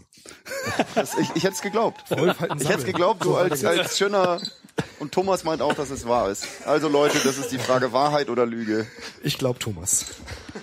Also, ich, ich wollte gefragt haben, ähm, in Bezug nehmend auf diese ähm, Ballermann-Geschichte, ich finde, ich, soll ich es vorlesen? Ich habe es schön geschrieben. Vielleicht sagen wir mal ganz kurz für die, die nicht dabei waren, äh, was am Ballermann denn passiert ist, beziehungsweise wie es hier Stefan ankam. war bestimmt Steht dabei. hier, Ballermann, T macht den Pröpper, eine Gummipuppe ziert die Vereinsfahne.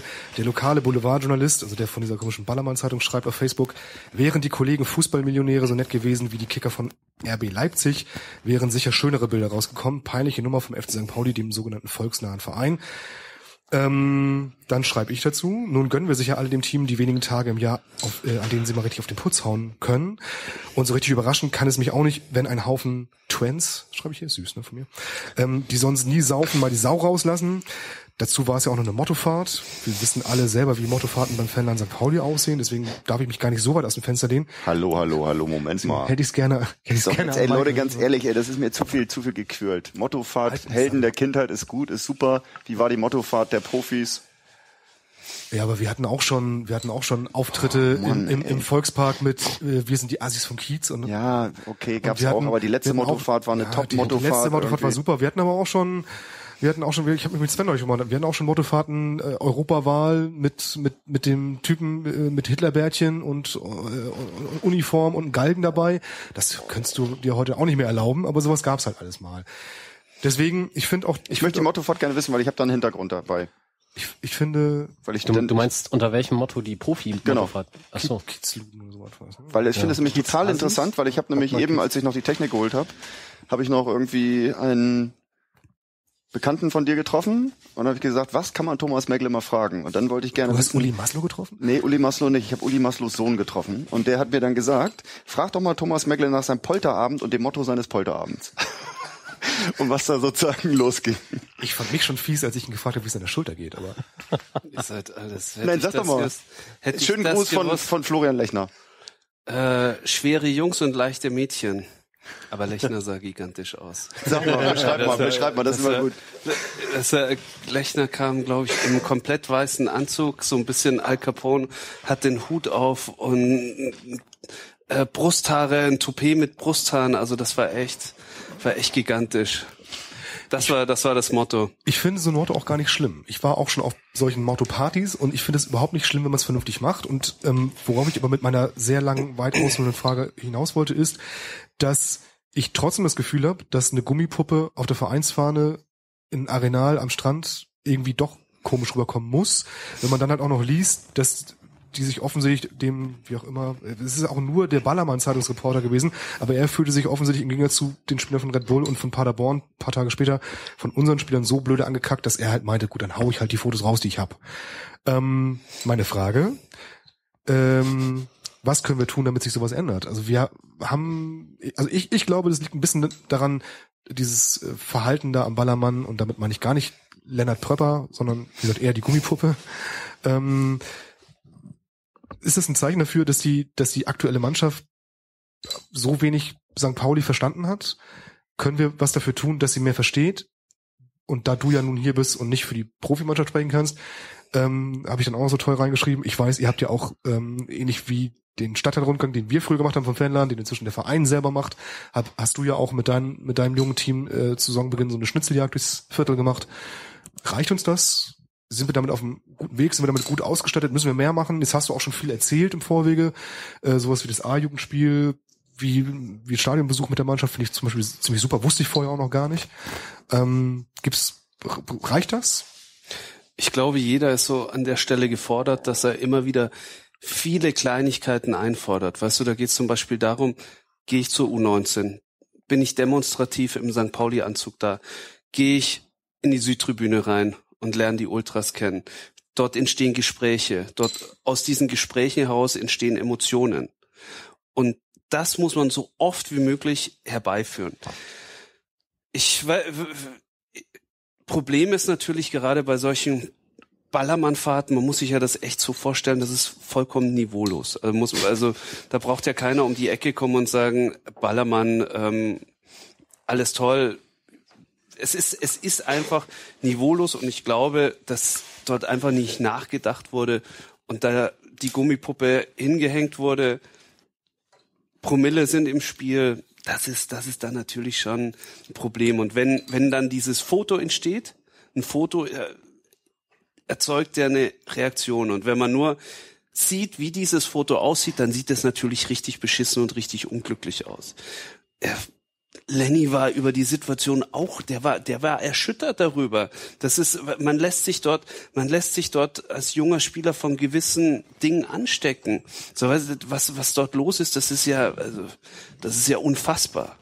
Kann man sich gar nicht vorstellen. Und er war selbst erschüttert darüber, was dort passiert ist. Also Lennart T. sieht man irgendwie, wie er sozusagen seinen Pimmel rausholt, ja. weil er einen Eimer pinkelt und das ist mit dem Teleobjektiv fotografiert davor, ist eine Frau, es sieht aus, als wenn er einer Frau hinten an Rücken ja. pinkelt. So, so sieht das Foto aus und ja. ja einfach nur, einfach nur weil es ja, niemand jetzt sieht, oder?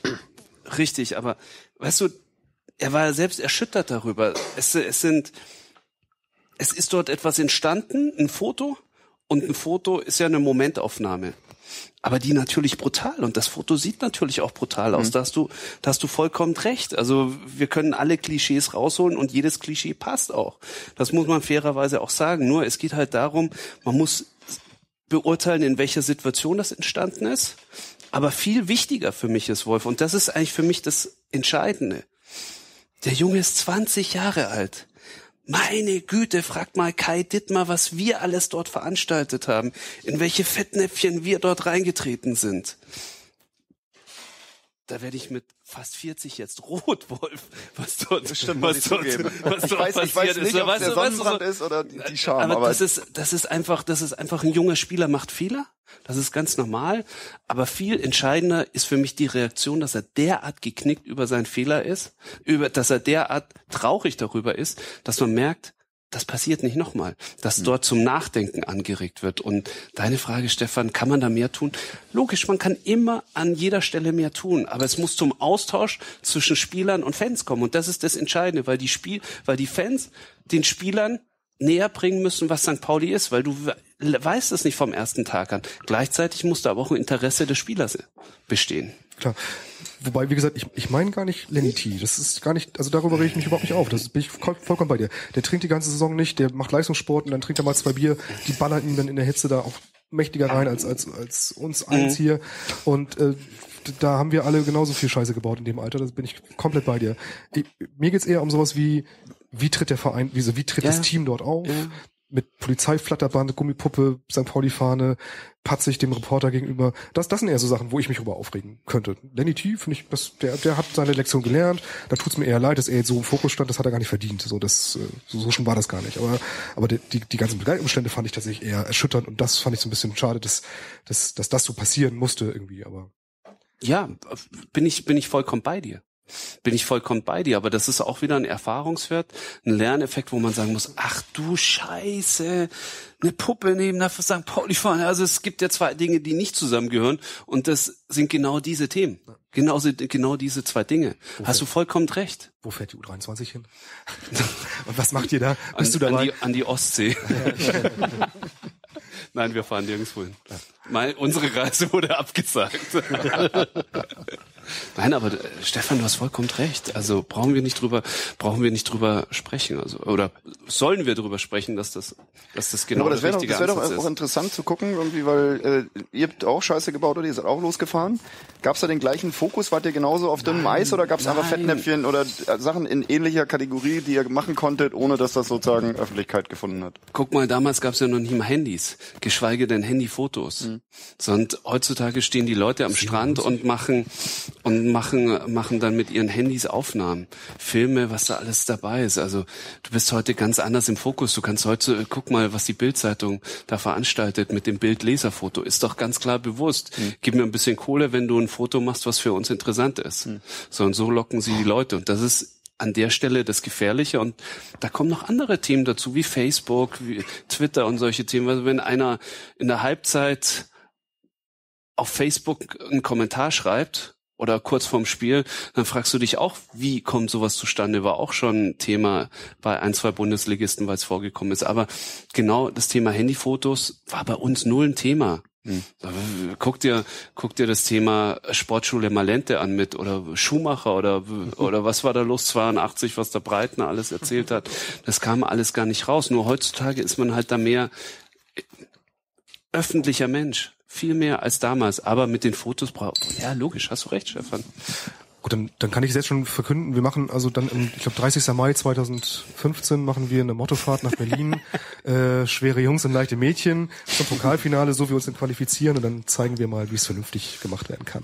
Ich finde diesen negativen Touch jetzt nicht gut, dieses so wir uns ja. dann qualifizieren, also das, ne, egal. Ja, ich Entschuldigung. Ich, ich denke zu dem Thema Ballermann, es gibt ein sehr, sehr lesenswertes Statement des Aktionsbündnisses gegen Sexismus und Homophobie. Das werden wir auf jeden Fall verlinken. Quintessenz neben dem, was wir eh schon gesagt haben, war auf jeden Fall auch, dass auch die St. Pauli-Fanszene sich etwas bedeckter halten kann, was stumpfes Übernehmen des Boulevards äh, anbelangt. Ich denke, das können wir an der Stelle auch nochmal betonen. Genau, und ich finde auch ganz wichtig, dass wir auch immer wieder betonen können, und da müssen wir uns alle gegenseitig auf die Schulter klopfen, wir sind ein Verein, da passiert sowas, das geht dann einmal hoch durch alle Medien und dann setzen sich aber die Leute zusammen und auch die Vereinsführung und die sportliche Leitung sagt, ja natürlich nehmen wir uns die Zeit und setzen uns mit dem Aktionsbündnis zusammen innerhalb von 24 Stunden und darüber berichtet dann wiederum niemand, leider, außer wir jetzt hier. Ja, das Aktionsbündnis hat es ja aber auch geschrieben, also fand ich ja. auf jeden Fall eine super Stellungnahme auch. Okay, haben wir noch kurz, Themen, Thomas? Ich, ich, ich, ich hätte noch kurz noch gefragt Thomas. haben, ob, äh, ob eigentlich Fabian Boll jetzt auch dann in die Identitätsarbeit der Jugend eingebunden wird. Habt ihr euch da auch schon unterhalten, so dass äh, ihr könnt ja gerade aufgrund eurer extrem guten langen Kenntnis des Vereins sicherlich den, den Jungs eine ganze Menge beibringen, ne? euch die Bälle zuspielen sozusagen. Ja, muss man mal sehen. Äh, Boller ist da in finalen Gesprächen und dann schauen wir mal, wie die Gespräche enden werden wenn es denn so ist, würde auf jeden Fall identitätsfördernd dort auftreten. Ist ja immer gut. Wer ist dann der Good Cop, wer ist der Bad Cop? ich meine, gerade bei ihm liegt die Frage ja sehr nahe. Liegt sehr nahe. ähm, ich glaube, die Wechsel der äh, Wechsel der Rollen sind oh, an der Stelle entscheidend. Ah ja, aber schon Probleme als Cop bezeichnet zu werden. Ne? okay, dass du damit Probleme hast, wird sicherlich wieder interessante Gespräche dann mit der Nummer 17 dann hervorrufen. Du nennst mich nicht Cop. genau. Ich, äh, das jetzt passt gar nicht da rein, weil das sozusagen ganz in die äh, Vergangenheit zurückgeht. Du bist 1993 äh, mit FC Augsburg A-Jugendmeister geworden.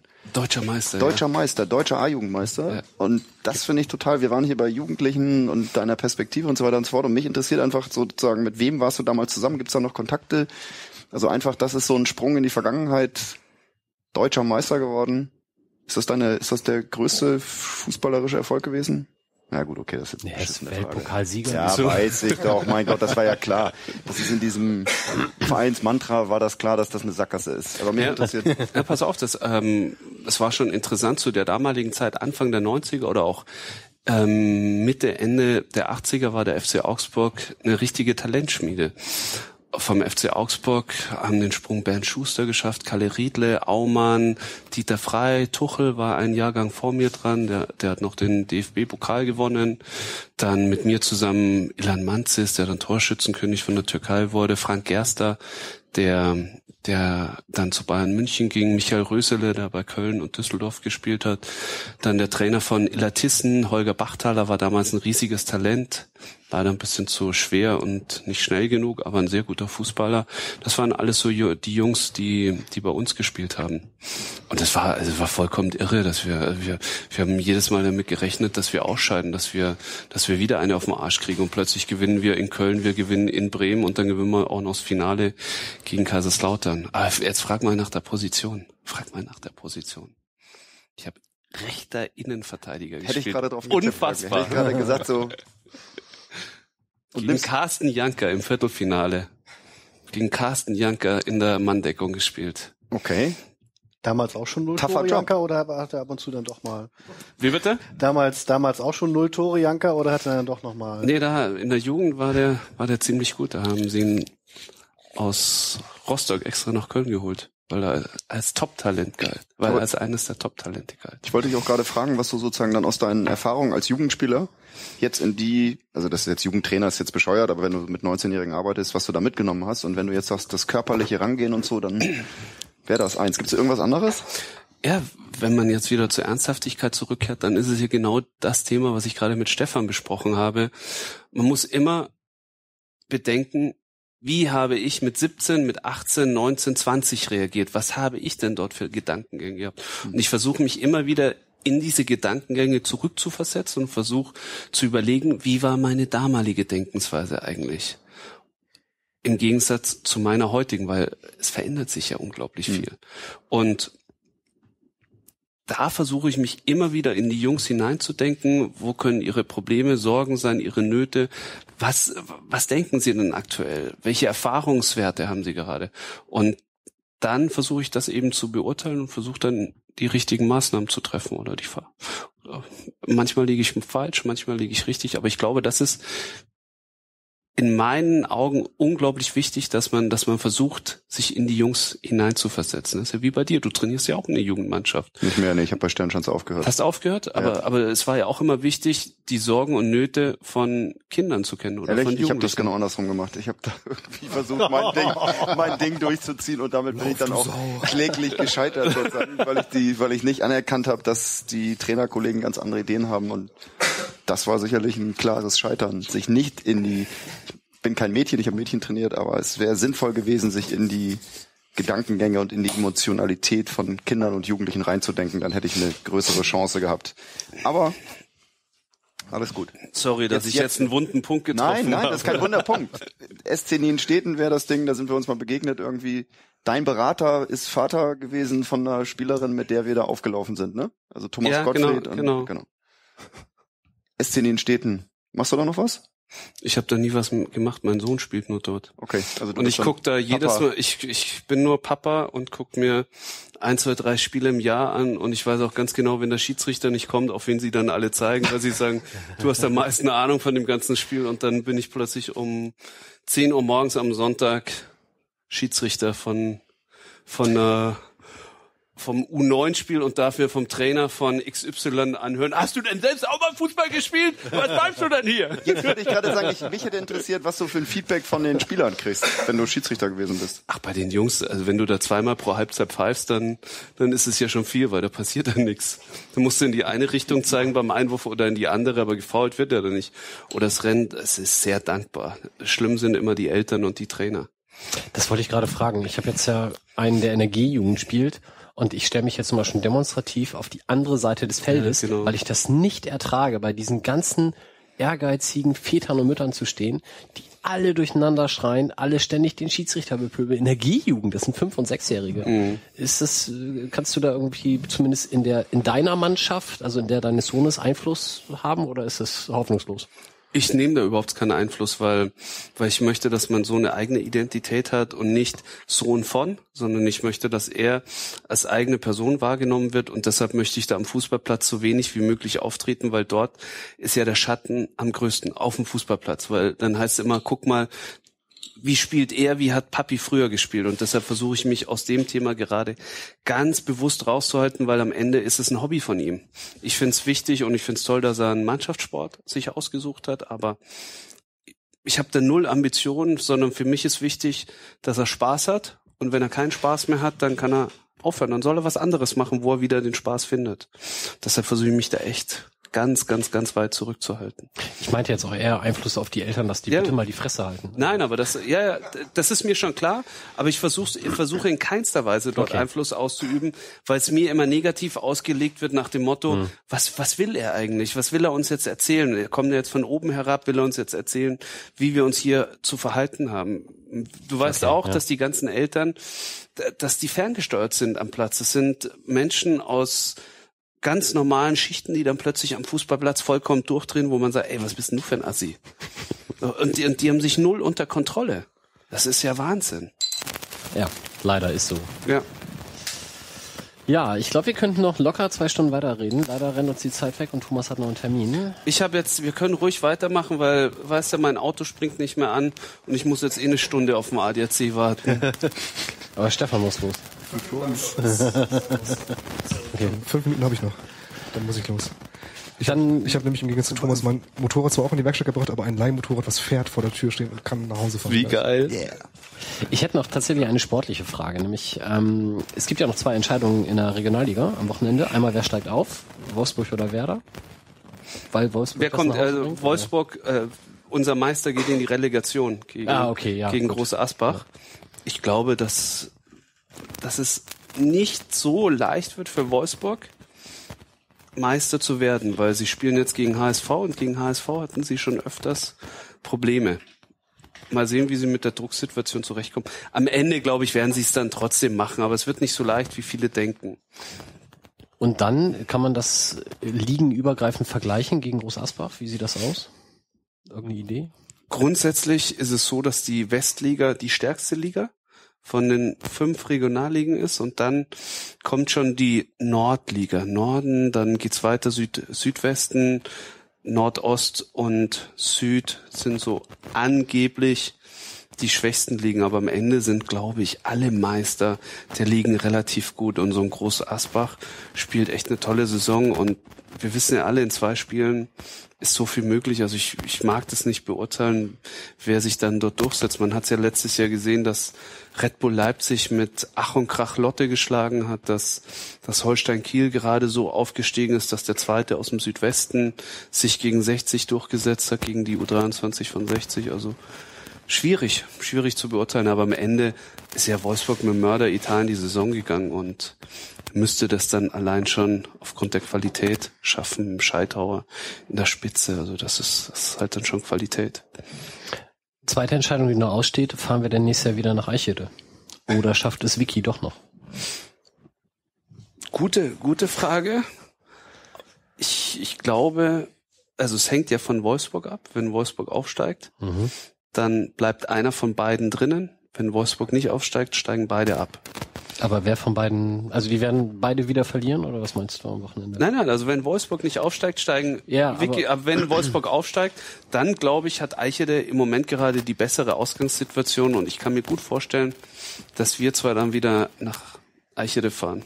In der Hoffnung, dass es ein besseres Ergebnis gibt ohne größeren Lerneffekt. Wir könnten eine Fahrradtour daraus machen. Ja, bitte. Ja, anders kommt man ja auch kaum hin. Ja.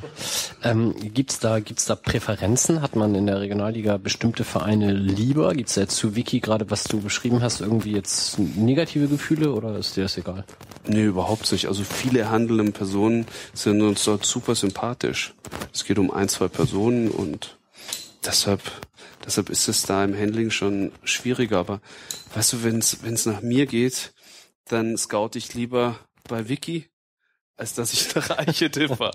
So, von daher gesehen habe ich eine klare Präferenz, die aber Eichede gegenüber respektlos wäre. Okay. Das Wo ist ein reiner Eigennutz. Jetzt kommt die das große Eingeständnis, ich habe keine Ahnung, wo Eichede liegt. Was ist das? Warum rauchen da alle? Wieso ist das so schrecklich? Gibt es irgendwie Beschreibung? Ich stelle mir tatsächlich so Eichede als rauchende Schlote in nein, stehen nein, nein, nein, nein, nein, nein, auf dem Spielfeld. Die U23 ist schon mindestens 43 Jahre alt, alle gefälschte Ausweise. Mein, mein Urgroßvater, Industriegebiet. Mein Urgroßvater war Pastor in Eichede. Das ist ein ganz idyllisches genau. Örtchen in der holsteinischen Schweiz ist das schon, aber so gerade so Anflüge bisschen das Kreis Stormann. Kreis Stormann, Ahrensburg die Ecke, so Pi mal Daumen. Ach, so nah. Ja, ja. ja. Das ist ja aber du kommst halt dort nicht hin. Außer mit dem Mannschaftsbus am Sonntag. also es ist tatsächlich sonntags nicht mit öffentlichen Nahverkehr erreichbar. Ich glaube, das nächste ist dann irgendwie schon Nee, jetzt sage ich schon was Falsches. Also und dann musst du von da aus so eine gefühlte Dreiviertel bis ganze Stunde zu Fuß gehen. Also wenn du nicht motorisiert bist, dann hast du da verloren. Wie nehmen die Einheimischen dann diese Besuche von auswärtigen äh, Gästen wahr? Ist das dann so ein bisschen jedes Mal alle zwei Wochen ist quasi unheimliche Begegnung der dritten Art da oder sowas? Also es klingt schon sehr weit weg dafür, dass es so nah dran ist. Ja, das ist so wie Bornreihe. ist egal, Scheiße, jetzt kommen hier die. Also ich, ich finde auch gerade Eichel ist ein schönes Beispiel für, wie man einen Regionalligaplatz halt nicht kaputt machen kann, weil die haben das einigermaßen hingekriegt. Die haben einen kleinen Zaun eingezogen, einmal von oben nach unten auf der Tribüne, um da quasi einen Gästeblock abtrennen zu können. Und der Pressesprecher ist mit meiner Kollegin zusammen, deswegen kann ich da so ein bisschen aus dem Nähkästchen plaudern. Die haben tatsächlich ein Problemspiel oder Sicherheitsspiel im Jahr, nämlich das äh, von deren Zweiter gegen den VfB Lübeck, weil die beide in der Schleswig-Holstein-Liga spielen. In der Regionalliga war da, glaube ich, nicht ein Sicherheitsspiel dabei und gegen uns waren es knapp 1000, ich glaube 900 Zuschauer oder sowas. Das war auch schon relativ viel. Und äh, ansonsten kommt da halt nur Lübeck mit seiner ersten Mannschaft mit 1000 Leuten an, ansonsten ist da tote Hose. Sebastian. Passt nicht ganz rein, aber weil wir hier gerade noch eine Frage über Twitter gekriegt haben, vielleicht kannst du da ja noch kurz was zu sagen. Woran liegt es, dass seit circa fünf Jahren keine Spieler aus der U23 in die Nähe vom Stammspieler bei den Profis kam. Kann man das so pauschal beantworten? Weil darauf kein Wert gelegt wurde. Okay. Zack. Wie, scha wie schaut's jetzt perspektivisch aus? Also wie unterhält man sich darüber dann? Also ich meine, kann man natürlich dann sagen, ich lege darauf Wert. Äh, woran erkennt man, dass darauf Wert gelegt wird? Oder hat sich da jetzt was geändert in der Politik? Ja, also Rashid Asusi will dort Nachwuchsarbeit betreiben. So, und das war halt vorher nicht der Fall. Und deshalb ist jetzt der Fokus mehr auf der Nachwuchsarbeit. Deshalb, die Bedingungen sind auch jetzt besser, muss man auch ganz klar sagen. Vorher waren die Bedingungen nicht gut mit dem Brummerskamp. Jetzt sind die Bedingungen für eine Leistungsmannschaft besser. Man, man hat bessere Möglichkeiten, Spieler an sich zu binden. Früher konnten wir viel über unser soziales Konstrukt punkten, was Schule angeht, Schule in Verbindung mit Fußball. Da, da sind wir ganz weit vorne, was dieses Thema in der Nachwuchsförderung angeht.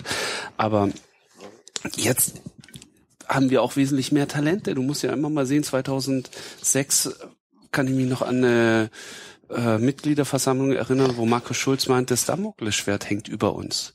So, da hattest du halt kaum Kohle für, für eine Jugendarbeit. Klar, mehr als andere, aber du bist hier im Umfeld mit dem HSV, du bist hier im Umfeld mit Wolfsburg, die alles, was nur ein bisschen Talent hat, wegkauft. Wenn man sich vorstellt, dass Julian Brandt bei uns vor drei Jahren vor der Tür stand und gesagt hat, für mich geht es eigentlich nur darum, entweder zu Wolfsburg oder zu St. Pauli, der wollte zu uns kommen. Aber am Ende sagt halt auch, ja, ein gewisses Mindestmaß muss halt dann vorhanden sein. Und wenn er dann die Wolfsburger Strukturen sieht, dann sagt er auch, ah, ich würde so gerne, aber es geht halt leider nicht so. Und jetzt hoffen wir halt, dass wir gerade solche Jungs ziehen, dass wir solche Jungs kriegen, dass wir da immer wieder mehr Jungs kriegen. Und wir haben jetzt einen guten 94er Jahrgang, das war ein guter Jahrgang. Und deshalb sind da auch schon die Grundvoraussetzungen leichter, um auch wieder Spieler aus der U23 an den Profikader heranzuführen. Wir haben sie, wir haben regelmäßig haben jetzt Kulikas, Jakubiak, Baxter Bahn, Graudenz oben mit trainiert. Das sind schon mal vier Stück. Äh, Bahn wird jetzt auch die Vorbereitung oder hätte die Vorbereitung oben mitgemacht. Leider hat er sich aktuell schwerer verletzt. Was schade ist für den Jungen, aber, aber wir haben da jetzt ein paar Jungs dabei, wo man sagen kann, ja, die können den Weg gehen. Es gibt viele auch, die den Weg in die dritte Liga gehen können oder wo wir jetzt einfach auch mal die Entwicklung abwarten. Explodiert da jemand? Wer hätte vor oder wer hätte 2007 gesagt, dass ein Marco Reus und ein Großkreuz bei Dortmund spielen und für die national für Deutschland na, zur WM nach Brasilien fahren. Ich meine, die haben wir bei uns alle im Stadion spielen sehen. Gute Spieler, toll gemacht, aber Dortmund hat die auch weggeschickt. Und da sieht man, was da alles noch für ein Potenzial in den Spielern steckt. Und wenn man ihnen die Zeit gibt und sie sich entwickeln können. Und da hoffe ich halt, dass in den nächsten ein, zwei Jahren da Spieler dabei sind, die dann den Sprung auch wieder nach oben schaffen und dann auch mutig entschieden wird, dass man den Spielern auch die Möglichkeit gibt zu spielen, weil das eine ist im Kader dabei zu sein, das andere ist aber auch den Mut zu haben, Spieler reinzuwerfen. Da, ich gucke ja auch mal links und rechts, was, was machen Trainer. Man kann über Luis van Gaal schimpfen, wie man möchte, aber es war schon eine geile Entscheidung, dort zu sagen, ich knall dort einen Müller rein und ich knall dort einen Bartstuber rein. Das muss man schon mal ganz ehrlich sagen. Ist nicht meine Führungsphilosophie, aber der hat die reingeworfen, der hat Mut bewiesen. Kommt natürlich auch aus der holländischen äh, Mentalität heraus, äh, Jugendspieler ausbilden zu wollen und auch die Chance geben zu wollen, aber, aber es zeigt doch, dass es, dass es funktioniert. Wir haben noch eine sehr philosophische oder sehr weit gefasste Frage vom User Oleg gekriegt. Wie findest du die Entwicklung beim FC St. Pauli in den letzten zehn Jahren? Ich habe schon mal nachgefragt, wie meinst du das denn genau? Also er meint so äh, mehr das drumherum, also die Infrastruktur etc. Und vielleicht auch kombiniert noch mit der Frage, die wir von Franco bekommen haben, wann übernimmst du denn die erste? Also vielleicht kann man das so fassen, was haben wir in den letzten zehn Jahren gut gemacht? Was hätte man besser machen können? Und wo siehst du vielleicht unseren Verein in fünf Jahren mit dir dann als Cheftrainer? Ich glaube, dass wir, dass wir ziemlich vieles richtig gut hinkriegen. Wenn ich mich noch daran erinnere, was hat, was gab's für einen Streit zwischen Aufsichtsrat und Präsidium? Was war da alles los? Und die Streitkultur beim FC St. Pauli funktioniert. Wir streiten uns, wir diskutieren, wir machen und wir tun, genauso wie Stefan es gesagt hat. Aber am Ende kommen wir meistens immer auf den grünen Nenner und kriegen viele Meinungen unter einen Hut. Das ist eine Geschichte, die aus meiner Sicht sehr gut funktioniert. Hat sich viel getan, gerade infrastrukturell, wenn man das Stadion sieht. Tolle Stadion. Auf der anderen Seite habe ich natürlich auch noch im alten Millantor gespielt und es ist so eine gewisse Ambivalenz bei mir entstanden. Die alten Zeiten waren schon cool, Neuzeiten Möglichkeiten kommen mit dem neuen Stadion, hm, wenn ich da das alte Millantor noch sehe.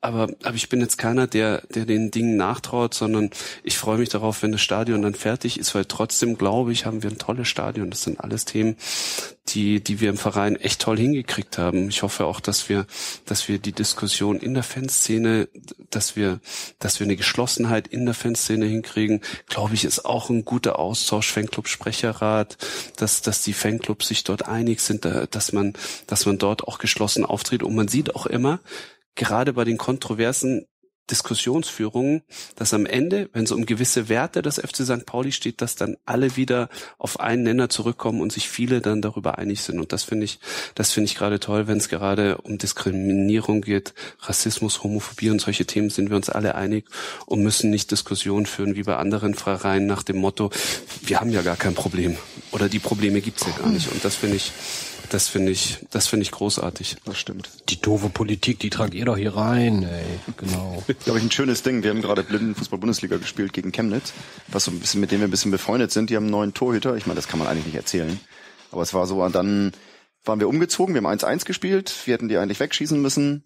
War, war blöd, wir haben das schnellste Tor der Liga gekriegt. Irgendwie nach vier Sekunden hat's geklingelt, weil wir noch nicht auf dem Platz waren. Aber am Ende der Torhüter Patrick, der hatte ein T-Shirt an schwarz mit grün drauf und dann stand so irgendwie Kinderschänder wegspritzen drauf so oder sowas in der Richtung. Also es war vorne was drauf und hinten was drauf. So äh, und er ist halt ein bisschen, okay, der ist jetzt nicht der absolut top intellektuell reflektierte Typ, so.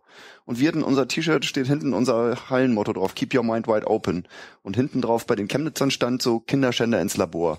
So, und diese beiden, diese beiden Parameter dazwischen habe ich mir auch gedacht, Mann, ich bin froh, irgendwie nicht bei denen zu sein, so irgendwie, weil das ist wirklich grausam, düster und schrecklich und mhm.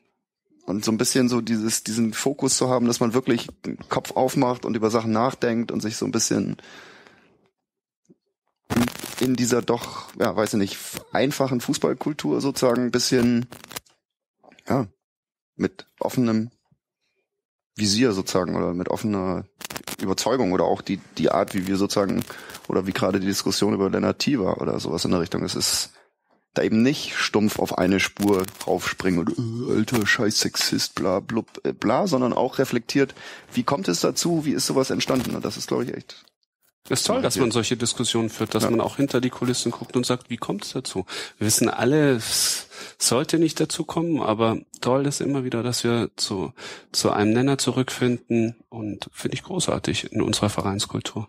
Aber verbessert sich da insgesamt wirklich die Diskussionskultur auch in der Fanszene? Wir hatten ja vorhin auch schon mal drüber gesprochen, dass es auch erschreckend war, wie schnell dann äh, zum Beispiel äh, im Fanforum äh, die Sichtweise der Bildzeitung übernommen wurde. Mhm. Also völlig willkürlich. In dem Moment wurde dann gleich das Allerschlimmste angenommen, dass er so die Frau quasi wirklich direkt sexuell belästigt habe und seinen Rausschmiss aus der Mannschaft gefordert. In mhm. verschiedenen Facebook-Kommentaren natürlich auch. Wie, äh, das ist vielleicht auch eine, eine, Frage, die, die du vielleicht auch ein bisschen aus der Mannschaft erlebst. Wie, wie das ist ja äh, die, die, die, die sozialen Medien. Wie siehst du das? Fördern die so eine gewisse Hysterisierung? Wie bringt man das Profis dabei, sich da auch mental davor zu schützen? Das waren ja Sachen, vor denen ihr euch damals noch nicht schützen musstet. Mhm ignorieren. Also ich muss dir ganz ehrlich eins sagen, Christoph, wenn heutzutage jemand unter Hallodri 73 seine Meinung kundtun kann, dann ist das für mich keine Diskussion, sondern das ist, da schreibt jemand was und es interessiert mich nicht. Sondern Diskussion ist für mich, wenn ich mich mit Menschen unterhalte und fachlich gute Argumente auf den Tisch kommen und dann Austausch entsteht und dann der eine die, an, die anderen Argumente akzeptiert, beziehungsweise vielleicht sogar übernimmt. Aber alles andere ist doch ganz klar, wenn du heute aus der Anonymität heraus schießen kannst. Das ist doch das Leichteste. Das kennen wir doch immer in allen Bereichen. Hinter dem Rücken wird gesprochen. Das ist nichts anderes in den ganzen Foren, dass man dort, dass man dort nicht unter seinem realen Namen schreibt, sondern dass man dort von hinten heraus Leute anpiekst. Und das finde ich, finde ich echt grenzwertig. Wobei ja die Hemmschwellen auch geringer werden. Insofern ist das ziemlich viele Leute auf Facebook auch unter ihrem eigenen ja, Namen ja, genau. Da, ja, dann genau. wüsteste Pöbeleien veröffentlichen. Ja, ja, klar, logisch. Aber so ein Shitstorm, den gibt's halt nun mal. Das ist, das ist, das ist echt, echt bitter. Das Wichtigste für einen Profi ist, dass du, dass du das gar nicht liest dass du damit gar nichts zu tun hast, sondern dass du mit guten Menschen einen guten Austausch führst, die dich dann weiterbringen. Das ist das Entscheidende. Nicht, nicht Menschen, die schreiben, Alter Digga, was ist los mit dir, du Blinder, triffst das Tor nicht. Das, das bringt dich nicht weiter, sondern du brauchst einen guten Austausch. Weißt du, du brauchst jemanden, der dich, der, der dich, der dich auf eine Ebene führt, wo du, wo du neuen Input bekommst. Das ist doch genauso wie bei dir. Du brauchst, ich brauche als Trainer Input, du brauchst Input, wir, wir brauchen, wir, Wolf, wir brauchen, wir brauchen alle Input, was unser Leben angeht, was Philosophien angeht, Lebens, äh, Lebensführungsweisen. Das sind alles die Themen, wo wir, wo wir gerne drüber sprechen können. Aber das bringt uns weiter, aber nicht, nicht irgendwelche Themen, Facebook, Foren und so ein Scheiß. Das Gemeine, stelle ich mir vor, ist, dass man da Spielern was beibringen, beibringen muss, was nicht zu machen.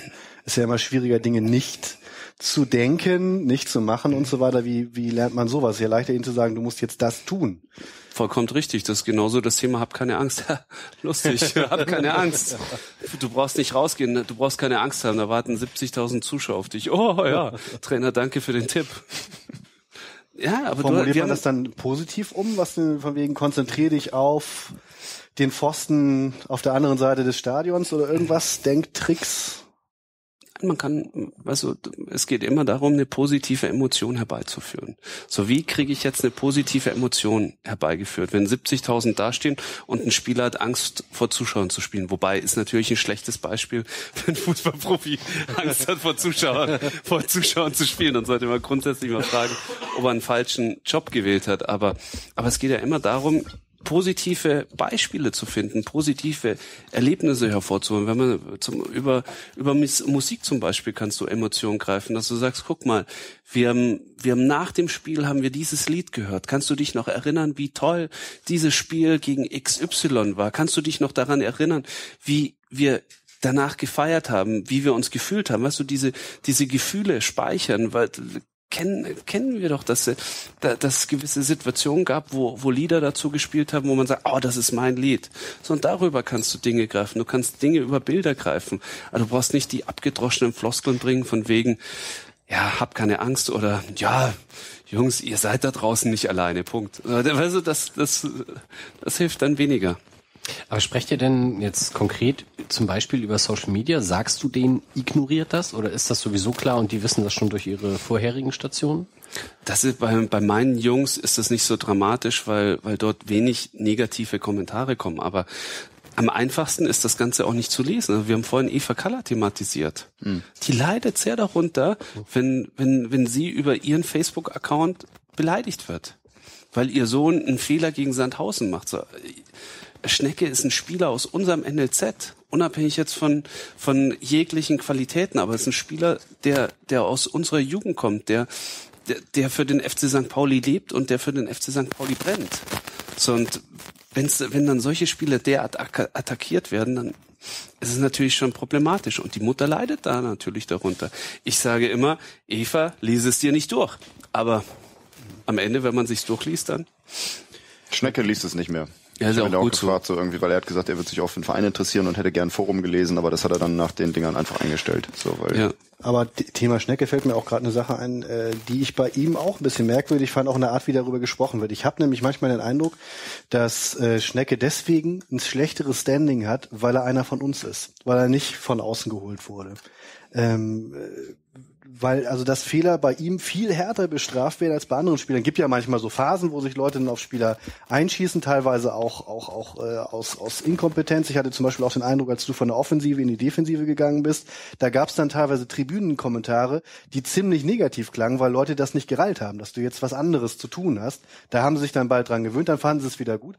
Äh, trotzdem so dauerhaft, dass man das immer wieder man sich so so einschießt, das scheint mir bei Schnecke besonders stark zu sein und äh, ich habe auch den Eindruck, dass Dennis Dauber auch härter kritisiert wird. Vielleicht auch so. Ist das so ein Thema, der Prophet gilt nichts im eigenen Land und wie kann man dem entgegensteuern? Ist doch, Christoph, es ist doch ganz einfach. Wir versuchen Spieler zu entwickeln für unsere Mannschaft. Und äh, haben wir vorhin schon thematisiert, dass wir keine Götzes und Draxlers haben.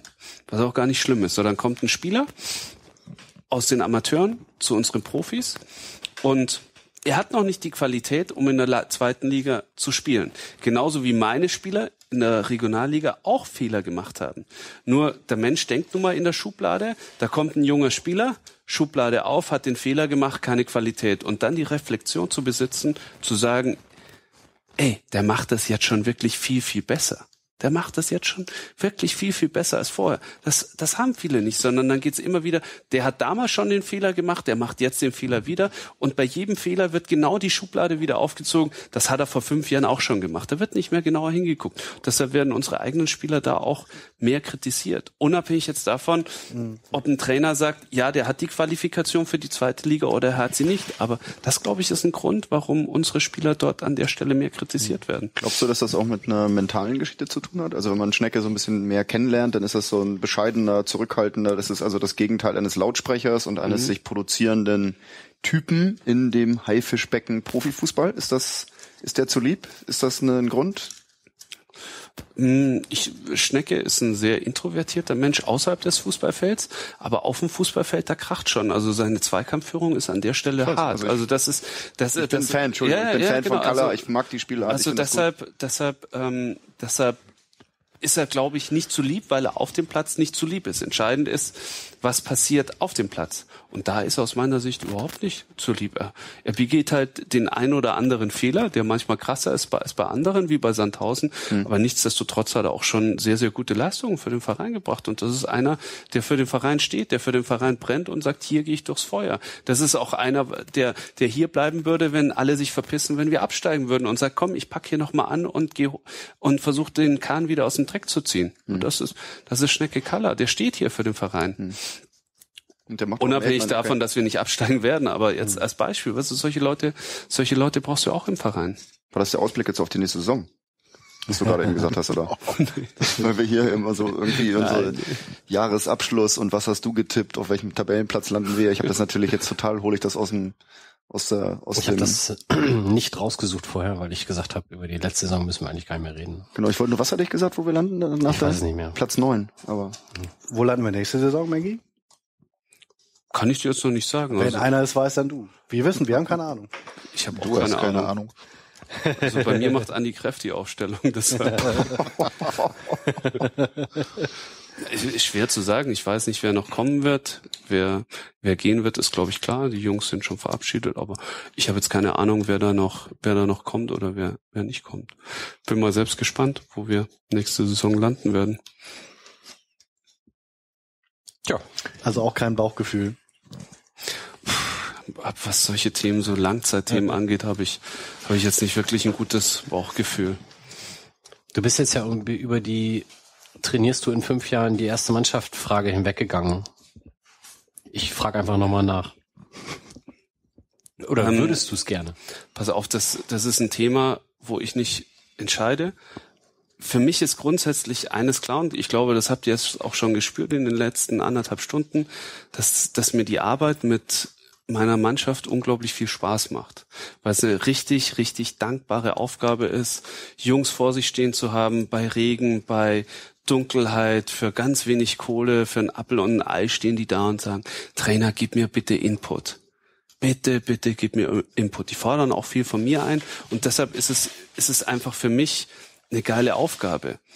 Unabhängig davon kann ich dir das alles, kann ich dir das nicht sagen. Also weißt du, ich habe für mich in meinem Leben festgestellt, dass du den Fußball nicht planen kannst. So, als ich das erste Mal zum FC St. Pauli kam, habe ich mir gedacht, so ein halbes Jahr versuche ich zu lernen. Dann im nächsten halben Jahr möchte ich auf der Bank sitzen und dann möchte ich im Jahr darauf ein halbes Jahr Einsätze bekommen und im letzten halben Jahr möchte ich Stammspieler sein. Ja, kam komplett anders. Ich habe das erste Spiel gemacht und war dann in, in der dritten Hälfte auf der Bank gesessen ohne Einsatz. Aber weißt du, das ist, das sind so Themen, die du, die du an der Stelle nicht planen kannst. Vor allen Dingen, für mich ist immer ganz wichtig, dass ich an der Stelle nichts forciere, dass ich sage, es muss so kommen, sondern am Ende wurde ich immer durch Türen durchgeschubst und wenn ich nicht durch Türen durchgeschubst werde, dann bin ich echt glücklich mit meiner U23-Aufgabe. Also es ist, eine, ist ein richtig toller Job. Aber die Frage, die Frage, die dahinter stecken könnte, ist ja auch sozusagen, dass äh, im Jugendbereich oder in dem im Nachwuchsbereich du eher eigentlich eine einigermaßen sichere Arbeitsfeld hast und Profifußball oder als Trainer, Cheftrainer, Profimannschaft auch schnell zu Ende sein könnte, wenn es eben mal nicht läuft oder so, weil das komplett wirtschaftlich ergebnisabhängig ist sozusagen und Ja, denkst, denkst du über sowas nach oder Ja das- klar, logisch, vollkommen richtig. Deshalb, äh, deshalb ist es ja auch so, man, man hört ja schon hin, wenn gewisse Leute etwas sagen und bei unserer Zertifikatsübergabe, als wir die, die Diplome erhalten haben beim Fußballlehrer, meinte unser Ausbilder auch noch Frank Worm und sagte dann auch zu euch, zu uns, Jungs, nutzt das NLZ als Ausbildung. Das ist der dankbarste Bereich zu arbeiten. Dort könnt ihr euch für den Profifußball wirklich fit machen. Dort könnt ihr lernen, machen und tun und könnt euch verwirklichen. Nachher im Profibereich muss es sitzen. So, und das ist, das ist ein vollkommen richtiger Gedankengang. Deshalb bin ich keiner, der jetzt gewisse Dinge forciert, dass ich sage, hey, ich habe jetzt 2013 im Fußballlehrer gemacht und ein halbes Jahr später stehe ich auf der Matte und sage, ich muss einen Erstligisten trainieren. Aber der Wunsch, in den Profibereich zu gehen, ist grundsätzlich da. Grundsätzlich ist der Wunsch, ist der Wunsch natürlich da, aber es ist genauso wie Wolf sagt, auf der einen Seite, wann wage ich den Sprung ins Haifischbecken und wann wage ich den, Haifisch, äh, den Sprung ins Haifischbecken? Und die nächste Frage ist, wo? Weil ich, ich habe immer so ein bisschen People im, im Kopf, der ja sagt, also wenn ich das so von außen richtig einschätze, momentan erst mit seiner U19, glaube ich, total happy. Ich glaube, wenn dem nochmal, wenn es nicht gerade FC Bayern ist, sagen würde, mach nochmal einen Profijob, würde er wahrscheinlich sagen, hm, muss schon sehr viel Geld darüber kommen. Ähm, und ich, ich, so wie ich das einschätze, würde ich, glaube ich, wenn, wenn wir jetzt endlich genug Geld haben, damit jemand Neues dazukommt, würde er den NLZ-Job, glaube ich, aufgeben und nur die U19 machen. Ähm, ist das für dich auch eine Option, dass du sagst, ich, ich habe eigentlich an der Jugendarbeit denn so viel Spaß und ich will gar nicht im Profibereich? Das wäre ja die Alternative dann. Ich glaube, dass so ein, dass so ein Profibereich dann schon auch spannend ist. Also da, das würde ich an der Stelle nicht sagen, dass ich, dass ich nicht in den Profibereich hinein möchte, sondern nur die Frage ist wann und die Frage ist wo. Weißt du, wo kriegt man die Chance dazu? So, aber ich bin jetzt keiner, der, äh, der mit den Hufen schadet und sagt, das muss heute oder morgen passieren, weil ich habe auch gesehen, dass viele sich natürlich da schon relativ schnell übernommen haben. Es gab Beispiele, die wunderbar geklappt haben, aber es gab auch Beispiele, also Henning Bürger, was ja auch noch, als er Jena übernommen hat und. Schnell wieder raus war aus dem Profifußball, genauso wie Wück, der jetzt, der jetzt die Nationalmannschaft trainiert und damals, glaube ich, Rot-Weiß Aalen in die zweite hm. Liga geführt hat. So, das sind alles Beispiele, wo wo es sehr, sehr schnell ging. Auch bei Stani ging es relativ schnell und in der Zwischenzeit ist er jetzt schon länger ohne ohne Job. Also das ist, das ist, glaube ich, dann nicht so leicht, sondern man sollte sich schon auch die Frage stellen, wann wage ich den Sprung und auch sind die Voraussetzungen gut? Sind es mhm. gute Voraussetzungen, um den Sprung jetzt zu wagen. So, und da sollte man schon immer ganz genau hingucken. Wobei Henning Bürger ja dann wieder im Jugendbereich gelandet ist oder im, ja, im Nachwuchsbereich sozusagen. Aber du hast es ja auch gesagt, ich meine, People hat die ungünstigsten Voraussetzungen gehabt, um im Profibereich zu arbeiten mhm. zu dem damaligen Zeitpunkt. So, er war lange U19-Trainer, dann war er Co-Trainer bei den Profi oder U23-Trainer und dann war er Co-Trainer bei den Profis noch dazu und in der Saison, als wir aus der zweiten in die dritte Liga abgestiegen sind, die Mannschaft zu übernehmen, war natürlich schon ein Himmelfahrtskommando. Hm. Ähm, totaler Themenbruch, aber guckst du noch zum FC Hansa? Nee. Ist das ganz weg, die drei Jahre auch aus der Erinnerung raus? Also ich meine. Nein, es ist nicht aus der Erinnerung raus. Ähm, aber prinzipiell ist es halt schon schwierig, alle zwei Wochen zu lesen, dass wieder ein Hansa-Fanbus eine Tankstelle überfallen hat, dass, dass ein Mob von, von, äh, von 30 Leuten oder von 50 Leuten Block gestürmt hat, dass ich war mit meinem Sohn bei unserem Spiel gegen Rostock und, äh, und dort sind dann Leuchtraketen in, in unseren Block geflogen. Mhm. Äh, hinter mir standen Vater aus ganz normalen Verhältnissen mit so meinem, mit seinem elfjährigen Sohn und da, und es wurden diskriminierende Phrasen geschmettert vom Vater und seinem Sohn, habe ich mich schon gefragt, meine Güte, was ist hier denn los? Also da tut man sich dann, da tut man sich dann echt schwer. Da tut man sich echt schwer, dann zu sagen, ja, man kann doch eine gewisse Emotion für einen Club aufbringen, muss man ganz ehrlich sagen. Hast du mit Finn Bartels mal gequatscht? Hat der dann erzählt da mit, ähm, mit dem scheiß Hansa Rostock Tunnel und so, die Nummer so irgendwie, wo man selber den Verein welchen Hansa Rostock, scheiß Hansa Rostock? Na, die sind doch da in so einem Tunnel nach irgendeiner Weihnachtsfeier äh, aufgegriffen worden oder halt sozusagen Ja? ja. Mit Pannewitz meinst du? Also als er noch, äh, doch, also als, als Finn, Finn noch bei Hansa, Hansa Rostock, Rostock gespielt hat, haben die nach irgendeiner so Weihnachtsfeier dann irgendwie so scheiß Hansa Rostock oder halt so sich da halt so was was Jahre später dann nochmal äh, von einem St. Pauli-Blog aufgegriffen wurde und äh, als die St. Pauli-Werdung des Finn Bartels äh, bezeichnet wurde. Also schon vor dem Wechsel zu braun-weiß irgendwie braun-weiß gefühlt haben muss, ansonsten äh, ja nicht in der Unterführung als Rostocker Vertragsspieler den Verein verwünscht. Aber was ich jetzt interessant finde, ist, ist denn so zum Beispiel, also wenn man so jetzt so die, die, es gibt ja in Rostock auch eine korrekte Fanszene sozusagen. Also richtig, richtig amtliche, gute Leute, die hier auch sozusagen befreundet sind mit St. Paulianern. Du meinst die Subtras? Das wäre jetzt ein großer Überbegriff. Ja, aber ja, es gibt kleine, also ich muss dir ganz ehrlich sagen, ich habe dort auch äh, Fankreise kennengelernt, so die Rostock-Fans aus Hamburg. Mhm. Das sind äh, in Hamburg lebende Me Mecklenburger und das sind echt ganz nette, smarte Jungs, die, die vieles auch differenzierter sehen. Da kam es auch im Trainingslager zum Austausch. Und es gibt mit Sicherheit, hm. es gibt mit Sicherheit auch in der Fanszene und wie du auch sagst, aus der linken Szene heraus in Rostock, da gibt es mit Sicherheit die eine oder andere Überschneidung. Hm. Aber insgesamt ist es halt vom ganzen äh, von der Problematik oder die Problematik hm. liegt eigentlich in der Menge der Menschen und in der Verkleinerung des Problems durch den Verein, ah, wir haben ja gar kein Problem. Mhm. So, und das ist halt immer so aus meiner Sicht echt grenzwertig, wenn, wenn Probleme kleingeredet werden und weggeguckt werden. Wir haben hier gar nichts. Mhm. Ähm, was mir gerade noch einfällt, weil du ganz viel diese politischen Themen immer wieder in den Vordergrund bringst, ähm, die hier ja auch eine große Rolle spielen und auch irgendwie schon gesagt hast, dass das irgendwie gut findest, dass das irgendwie relevant ist für die Fanszene. Wie, wie ist denn das bei dir selber gewesen? Bist du auch schon mit den Themen als, als Thema für dich hierher gekommen oder bist du hier irgendwie erstmal über den Haufen gerannt worden von der Thematik? Ich komme aus Bayern. da gibt's nur, da gibt's keine Politik. Da gibt's nur eine Meinung. ähm, also ich, ja, guck mal, ich war damals 21, als ich zu St. Pauli kam und ich war ein unbedarfter, unpolitischer Mensch. Und man, das ist ja gerade der Punkt, dass man durch einen Austausch auch Anregung erfährt, dass man, dass man, dass man sich auch weiterentwickelt als Mensch durch gute Gespräche, dass man da dadurch auch politisch Input bekommt, wofür, dass man sich dann auch Gedanken macht, wofür stehe ich eigentlich, Wo, was ist, was ist meine Meinung zu den ganzen Themen? Und da hat der FC St. Pauli, beziehungsweise nicht der FC St. Pauli, das ist zu groß, sondern Freunde, die ich über den FC St. Pauli kennengelernt mhm. habe, mir in diesem Austausch sehr geholfen und sehr viel neuen Input gegeben. Und das war, das, das, das hat mir damals auch geholfen, politischer zu werden. Mhm. Eine eigene politische Meinung zu finden. Wofür stehe ich, wofür stehe ich nicht? Nicht nur zum Wählen zu gehen und ein Kreuzchen zu machen, weil man es machen muss, sondern zu sagen, wo setze ich bewusst mein Kreuz hin? Wobei es wird ja heute schon, ist ja heute schon wesentlich schwieriger, die Parteien äh, danach zu unterscheiden, wofür die Parteien eigentlich stehen. Mhm.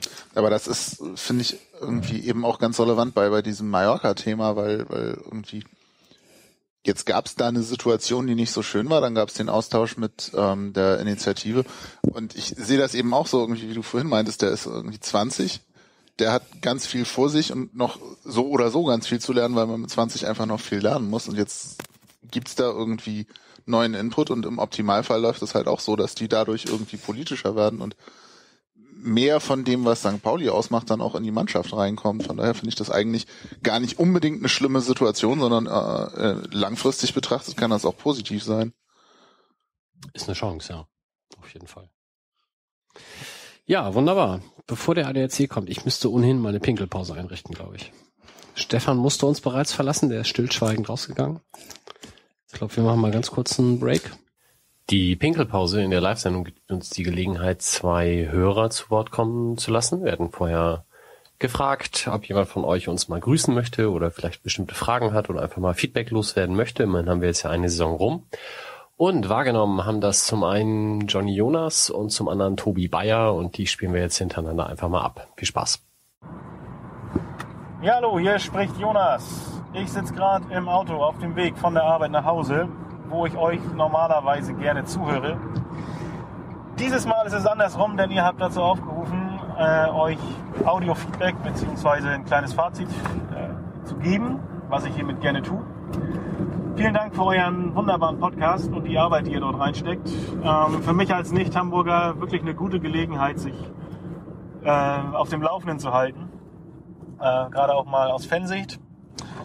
Ansonsten tolle Gäste, interessante Gespräche, schöne Analysen. Vielen Dank an Wolf dafür. Ich verstehe zwar nicht immer alles, aber ich kann ja noch dazulernen. Ähm, Insofern macht einfach weiter so. Schön wäre es, wenn es noch ein Chatroom gäbe, wo man vielleicht parallel mit, ja, auch mit anderen Fans, die gerade zuhören, mal diskutieren könnte, sich ein bisschen einbringen könnte.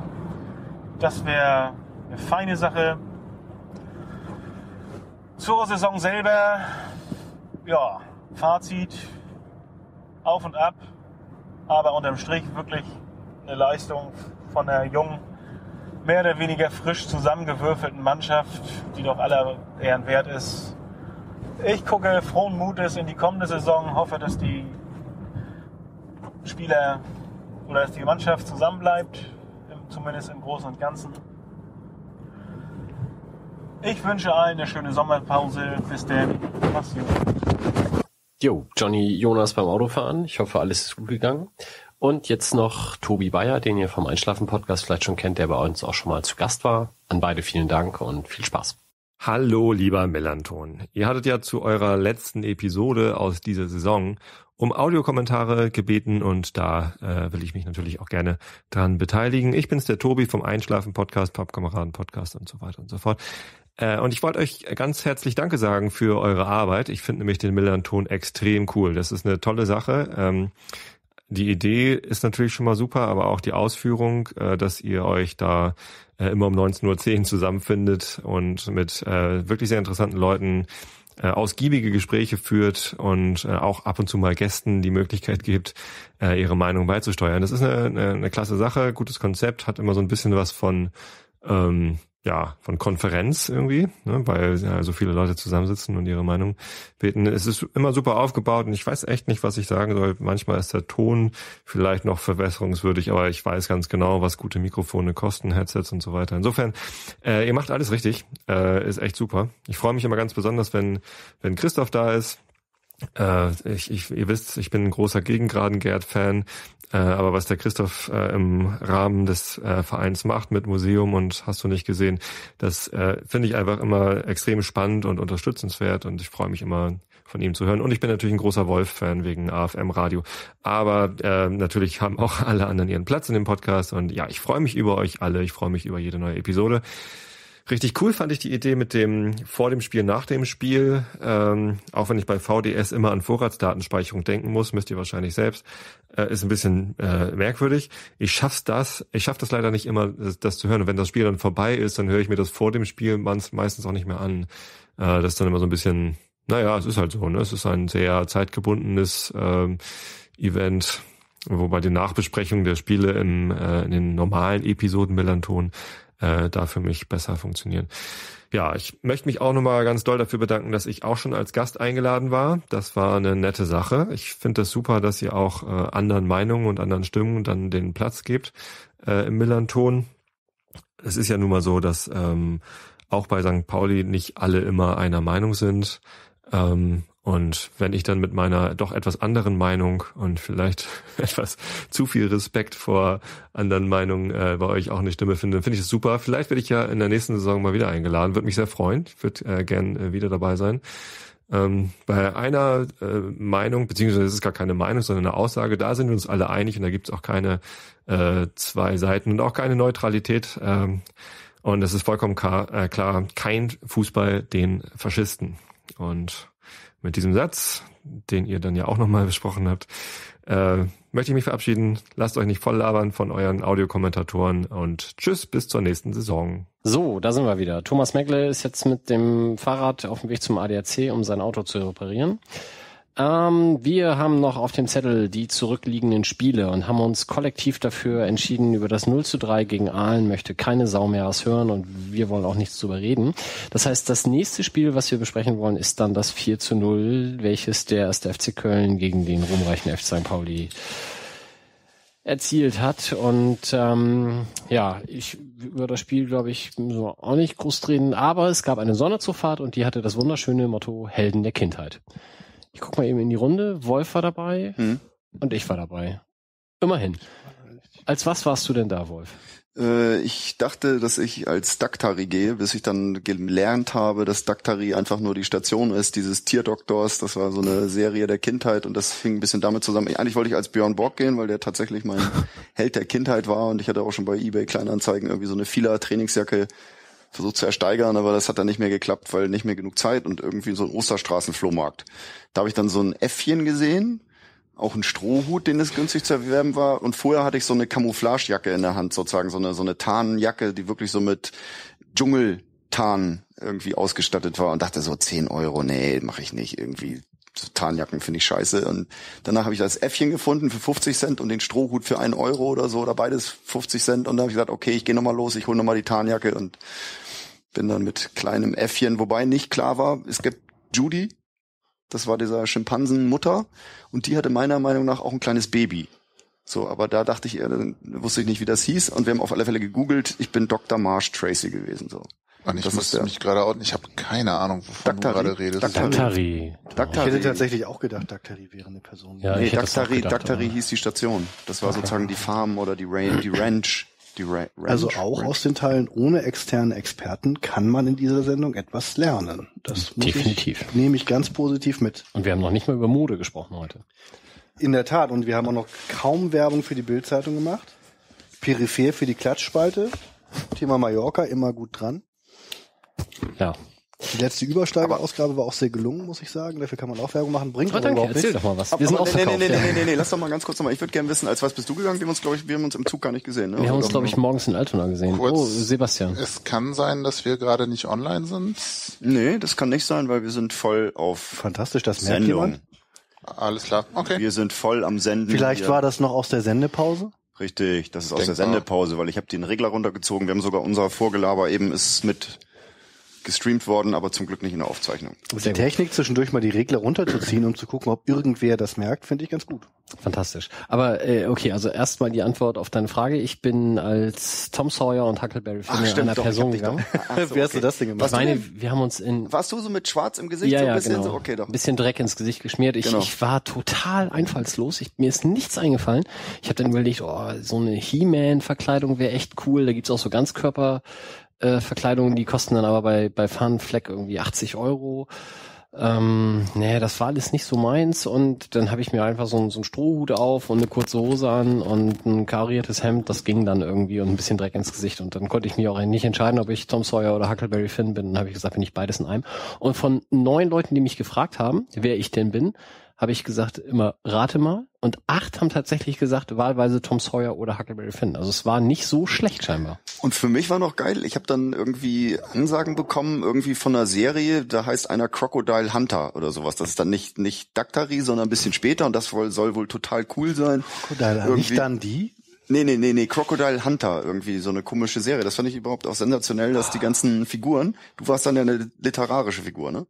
Ja. Und es gab ja noch mehrere. Ich habe eine Momo kennengelernt, weil irgendwann habe ich dann gesagt, so, Serdal, eigentlich unser Blindenfußballspieler, Freund, der gerne auch mal mit auswärts fährt, der hatte eigentlich auch ein Ticket, hat dann aber gesagt, nee, ich arbeite die ganze, die ganze Woche und so, dann doch kein Bock und nee, will ich nicht mitfahren. Und dann habe ich gedacht, so Mensch, eigentlich ist das ganz geil, auch zu hören so. Und ich habe da so 50 Minuten oder 60 Minuten lang Audio aufgezeichnet und habe die Leute immer gefragt, was sie sind. So, und da sind dann echt extrem geile äh, Geschichten zustande gekommen, die leider noch nicht geschnitten sind, weil das einfach zu viel Aufwand ist oder zu wenig Zeit. Was war deine Lieblingsgeschichte? Gibt es eine, die du so weitererzählen kannst? Ja, ich fand Clemens total geil. Also Clemens auch von äh, Enfant Terrible Fanclub.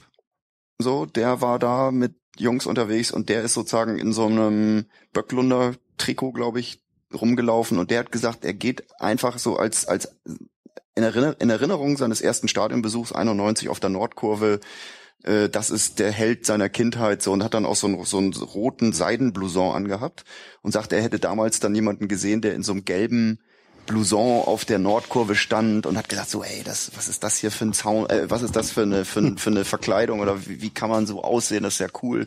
Also seine Erinnerung an den ersten Stadionbesuch hat er sozusagen äh, in der in dem Trikot und in dieser Kleidung so drin gehabt. Und der zweite Lieblingsheld äh, der Kindheit ist gewesen, mein, wie heißt er, mit meinem Namensgedächtnis immer total schlecht. Ähm, oh Gott. Überleg Ich glaub, mal, ich erkläre in der Zeit, was meine Highlights waren. Bernd das Brot. Martin in der Verkleidung als Bernd das Brot war großartig. Er hat also auch so ein, so ein Ganzkörperding als Bernd das Brot. Ich, Schaumstoff oder wo? Schaumstoff, ja. Ganz, ganz Weltklasse, sah super aus. Ähm, es gab natürlich ganz viel Pipi Langstrumpf, ganz viel Pan Pantau und all sowas. Aber das, War, war irgendjemand Kermit der Frosch? Äh, es war auf jeden Fall Ernie und Bert waren dabei. Ja, genau. Schon mal gut. Spaddel als Ernie und wer war denn? Ich Bert, weiß Bert nicht. ist auch da gewesen. Ja, ich weiß nicht mehr, wer Bert war. Ich glaube Nils. Nils dass war niemand den Bert. größten Entertainer dieses, äh, des letzten und dieses Jahrtausends Aber- dann gewürdigt. Okay, aber die, die schönste Verkleidung dann, wo ich mich am meisten darüber gefreut habe, weil ich kurz überlegt habe, es selber zu machen, aber gleich eingesehen habe, dass das nichts wird, war Sandra mit Regina Regenbogen. Regina Regenbogen. Regina Regenbogen. Äh, äh, äh, Was ist das für ein Ding? Ist das sowas wie, wie, wie, äh, sowas ähnliches wie Bibi Blocksberg?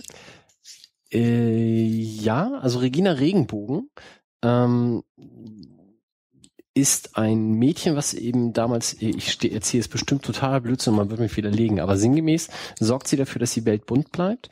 Es gibt einen Typen, ja, ich, äh, quasi so wie Gargamel bei den Schlümpfen, der die ganze Welt grau zaubert. Und sie hat immer Farbkristalle dabei und macht die Welt dann wieder bunt.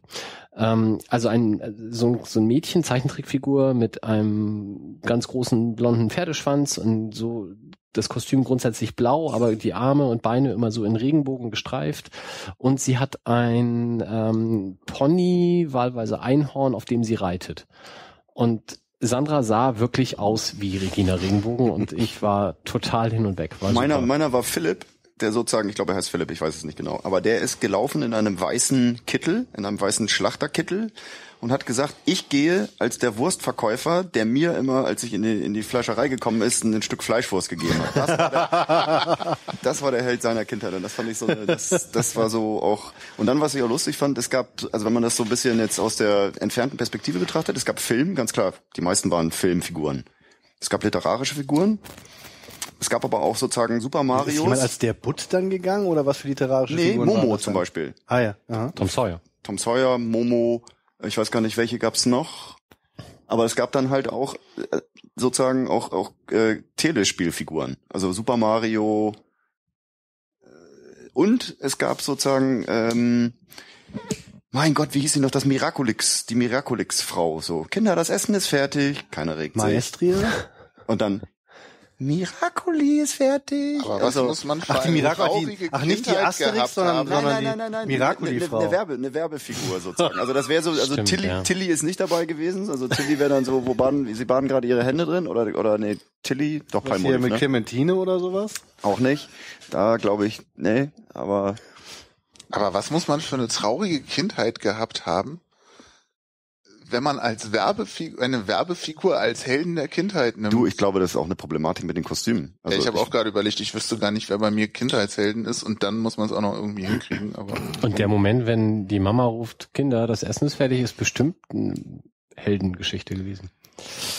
Ja, okay. Moment, ich wollte noch kurz äh, was fragen. Ähm, es geisterte heute kurz durch Facebook die Geschichte von einer kurzzeitig äh, geklauten Zaunfahne, die dann zurückerobert wurde, was das Schöne daran war, war, dass äh, die äh, Eroberer halt alle auch im Kostüm waren, so dass dann die Diebe der Zaunfahne von Zorro und Konsorten mit wilden Kampfschreien verfolgt und schließlich überwältigt werden konnten. Das habt ihr aber nicht mitgekriegt anscheinend, ne? Also ein Spaßklau oder oder ein Das kann ich nicht beurteilen. Ich glaube, der, das klang in der Darstellung schon äh, recht ernst gemeint. Ich habe es nur so zwischen ne, so aus dem Augenwinkel in äh, 30 Sekunden mal kurz drauf geguckt gesehen und fand's lustig. Ähm, scheint passiert zu sein. Die hatten halt ein Foto dann von, von sich, irgendwie Fanclub. Tut mir leid, lieber Fanclub, falls ihr es gerade hört. Ich habe vergessen, welcher Fanclub es war. Ihr seid toll aus in, in euren Kostümen, habt eure Fahne, die ihr da wiedererobert hatte, präsentiert. Und äh, die ganze Geschichte stelle ich mir sehr spektakulär vor, besonders für den, für, keine Ahnung, wenn, wenn der Dieb sich das einfach nur kurz geschnappt hat und dann guckt er sich um, dann kommen brüllende Comicfiguren auf ihn zugestürmt. Das ist natürlich schon eine andere Geschichte. Und bringt Stimmt, Comicfiguren waren auch noch ein paar ja. dabei. Also Lucky Luke, Sönke als Lucky Luke. Ja. Stark. Der Mann, der schneller spricht als also, ein Schatten. Es erinnert mich jetzt natürlich gerade an die äh, Fahrt zur Europawahl, die, die Stefan vorhin schon mal ansprach, wo dann ja auch ein Waggon England und ein Waggon Irland war und die IRA dann irgendwann das äh, Großbritannien überfallen hat. Äh, von daher frage ich nach Spaßklau, ob das da vielleicht auch der Fall war. Aber gut. Auf jeden Fall, als wir in Köln ankamen, ähm, war das unfassbar für mich, was für ein hohes Polizeiaufgebot da am Gleis stand. Wie hast du das gesehen? Also ich, ich fand es einfach unglaublich, weil da äh, einer war als Benjamin Blümchen verkleidet. Richtig, Benjamin Blümchen war, der hat auch ein richtig gutes Kostüm. Das heißt, die haben also mit einem gigantischen äh, Polizeiaufgebot Benjamin Blümchen, ja. Lucky Luke und Regina Regenbogen in Schach gehalten. Ja. Aber das Ding ist, also wir sind am Bahnhof angekommen. Warum landen solche Sachen nicht auf den Titelseiten der Boulevardzeitung? Weil das muss doch geile Fotos gegeben haben. das, die ganze Absurdität von diesen, von diesen Aufgeboten wird dadurch doch wunderbar. Ja, das war halt in Köln-Deutz angekommen und Deutz ist halt auch sozusagen Straßenbahnverkehr direkt zum Stadion und das war dann so, dass dann der St. Pauli Sonderzug Fangruppe, die große Gruppe sozusagen bevorzugt zur Straßenbahn gebracht wurde sozusagen, um da in einen einzigen nur von St. Paulianern bevölkerten Straßenbahnzug oder genau genommen zwei oder zwei waren es glaube ich oder zwei, drei. Einer ist vorne weggefahren, die ersten Stefan, DJ DSL ist als Nick Knatterton gegangen, sah gut aus. Als ich ihn dann aber gefragt habe, warum gehst du nicht als Tony Polster und so? Und er, scheiße, der Disco Tony, der Disco Tony ist wirklich der Held seiner Kindheit. Und da hat er dann gemerkt, dass das auch einen Bezug zu Köln hat. Und wäre auch gegangen und war total geknickt, dass er sich sozusagen mit dem Helden der Kindheit bisschen vergriffen hat. Nick Knatterton ist aber nun auch nicht schlecht. Natürlich. Muss man schon mal sagen. Muss man echt mal drauf gekommen ja. sein. Und eigentlich wäre er gern als Helmi gegangen. Helmi ist so ein Verkehrserziehungsfigürchen aus Österreich irgendwie. Der Helmi, der immer den Helm auf hat und so und der macht das richtig und so und irgendwie das, ja. Auf alle Fälle war es dann irgendwie, ich musste dann halt, bin dann raus, weil ich dachte, scheiße, äh, Kessel, Polizei dauert zu lange, wir waren noch nicht so viel oder so viele Stunden vorm Spiel da. Und dann war aber klar, irgendwie raus, Polizei raus, okay, dann wieder runter zur, zur, U zur Straßenbahn. Und dann habe ich gesehen, dass da abgeriegelt ist. Dann stand ich mit den Kölnern da und sah die St. Paulianer sozusagen im Bevorzug. und dann habe ich gesagt, ah, Entschuldigung, ich würde hier gerne nochmal wieder durch. So, also einmal raus Polizei, wieder rein Polizei. Und dann gab's sogar Polizei-Eskorte der Straßenbahn die ganze Zeit. Also die sind neben der Straßenbahn hergefahren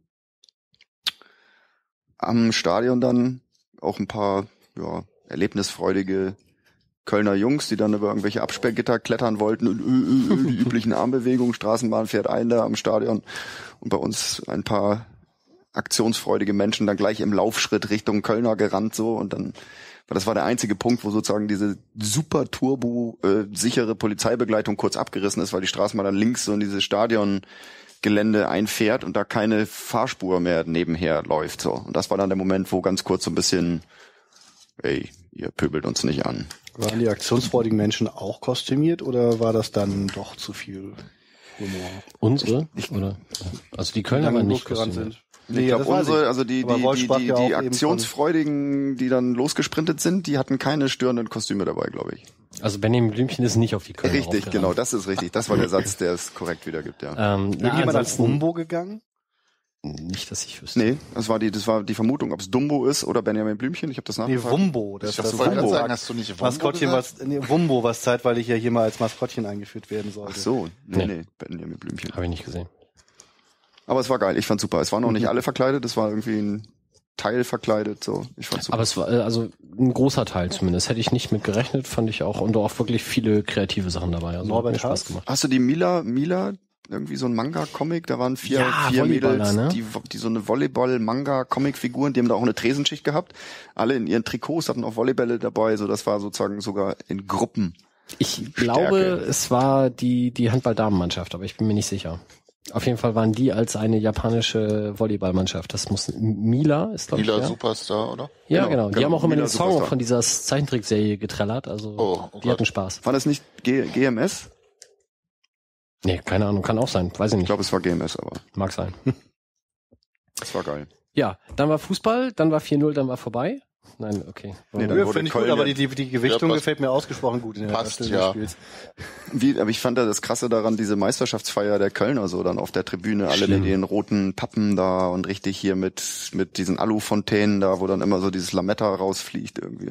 Also das erste, was ich äh, bei der Feier wirklich schlimm fand, und das habe ich auch vergessen im Bockcast, wo ich zu Gast war, zu erzählen, die Kölner haben, bevor sie die Schale bekommen oder die Radkappe bekommen haben, ein Highlight-Video der Saison eingespielt. Okay.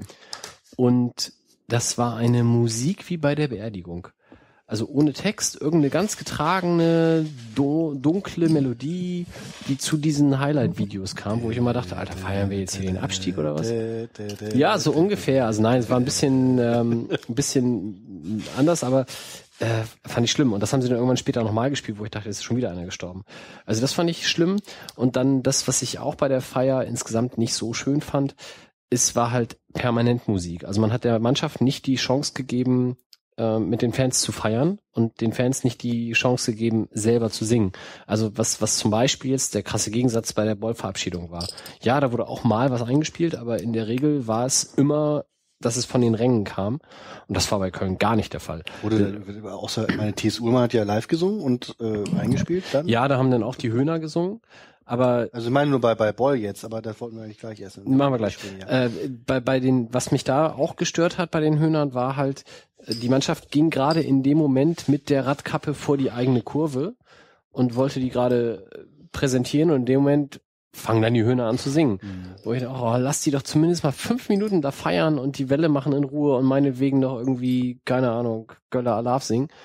Aber nein, permanent von oben klar. drüber geschallt, fand mhm. ich, fand ich schlimm. Also hätte ich mir halt, für ne? meine Feier total anders gewünscht. Ja klar, aber es ist halt ein Event, also es ist halt so der, dieses, was gibt die DFL vor, so irgendwie, okay, das machen wir oder so ungefähr. Und da packen wir ein bisschen Kölsche, Kölsches Lied gut mit dazu, irgendwie. Mhm. Weiß ich nicht.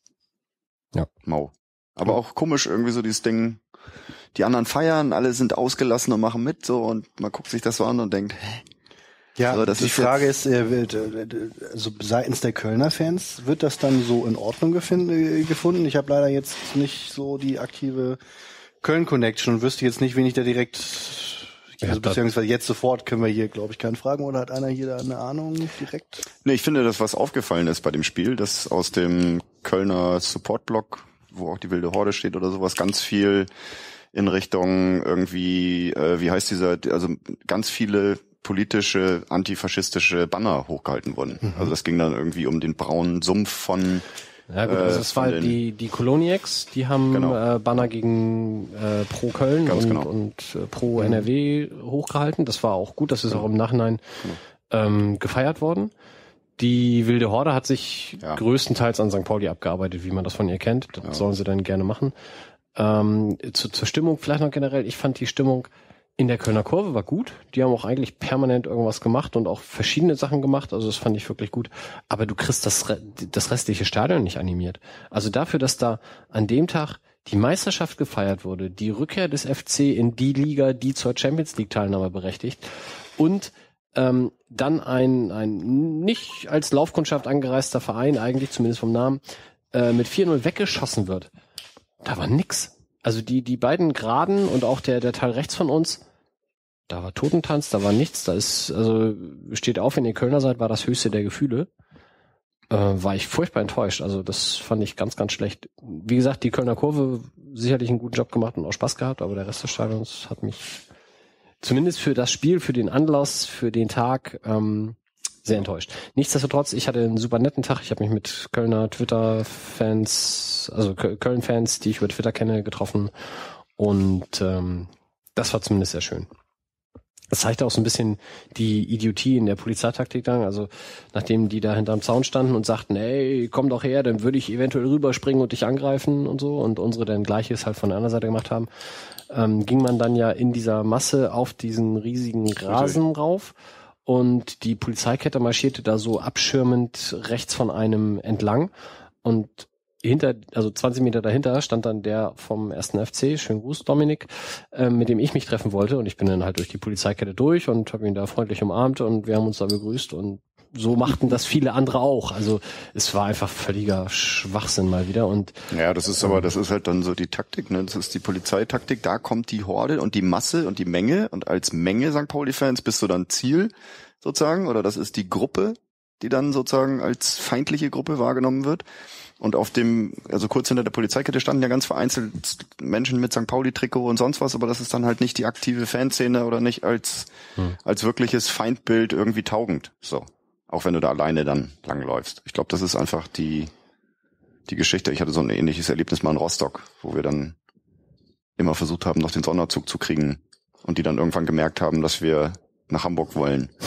So, und dann rennen so Hooligan-Schränke neben dir her und klopfen dir auf die Schulter und sagen, Mensch, ihr seid ja ganz okay. Aber die anderen von euch, die sind richtig scheiße. Zack, so. Jetzt alle, alle wieder wach. Hallo. Ja, ja, Sonderzug nach Hause, gute Nacht. Oder gibt's noch was zu ergänzen? Nee, Champions League war das Stichwort. Ich kam mir da wirklich so vor, dass als ob Köln Champions League spielt, das was Thomas Megle hier erzählt hat, Draxler und was hat er noch gesagt, hier Max Meyer etc., Talente, Champions League Niveau werden wir nie haben und so wie Köln gespielt habt, habe ich gedacht, so das werden wir nie erreichen. Also so einen schnellen, dynamischen, athletischen Fußball, das ist eine Nummer zu groß. Fandst du nicht?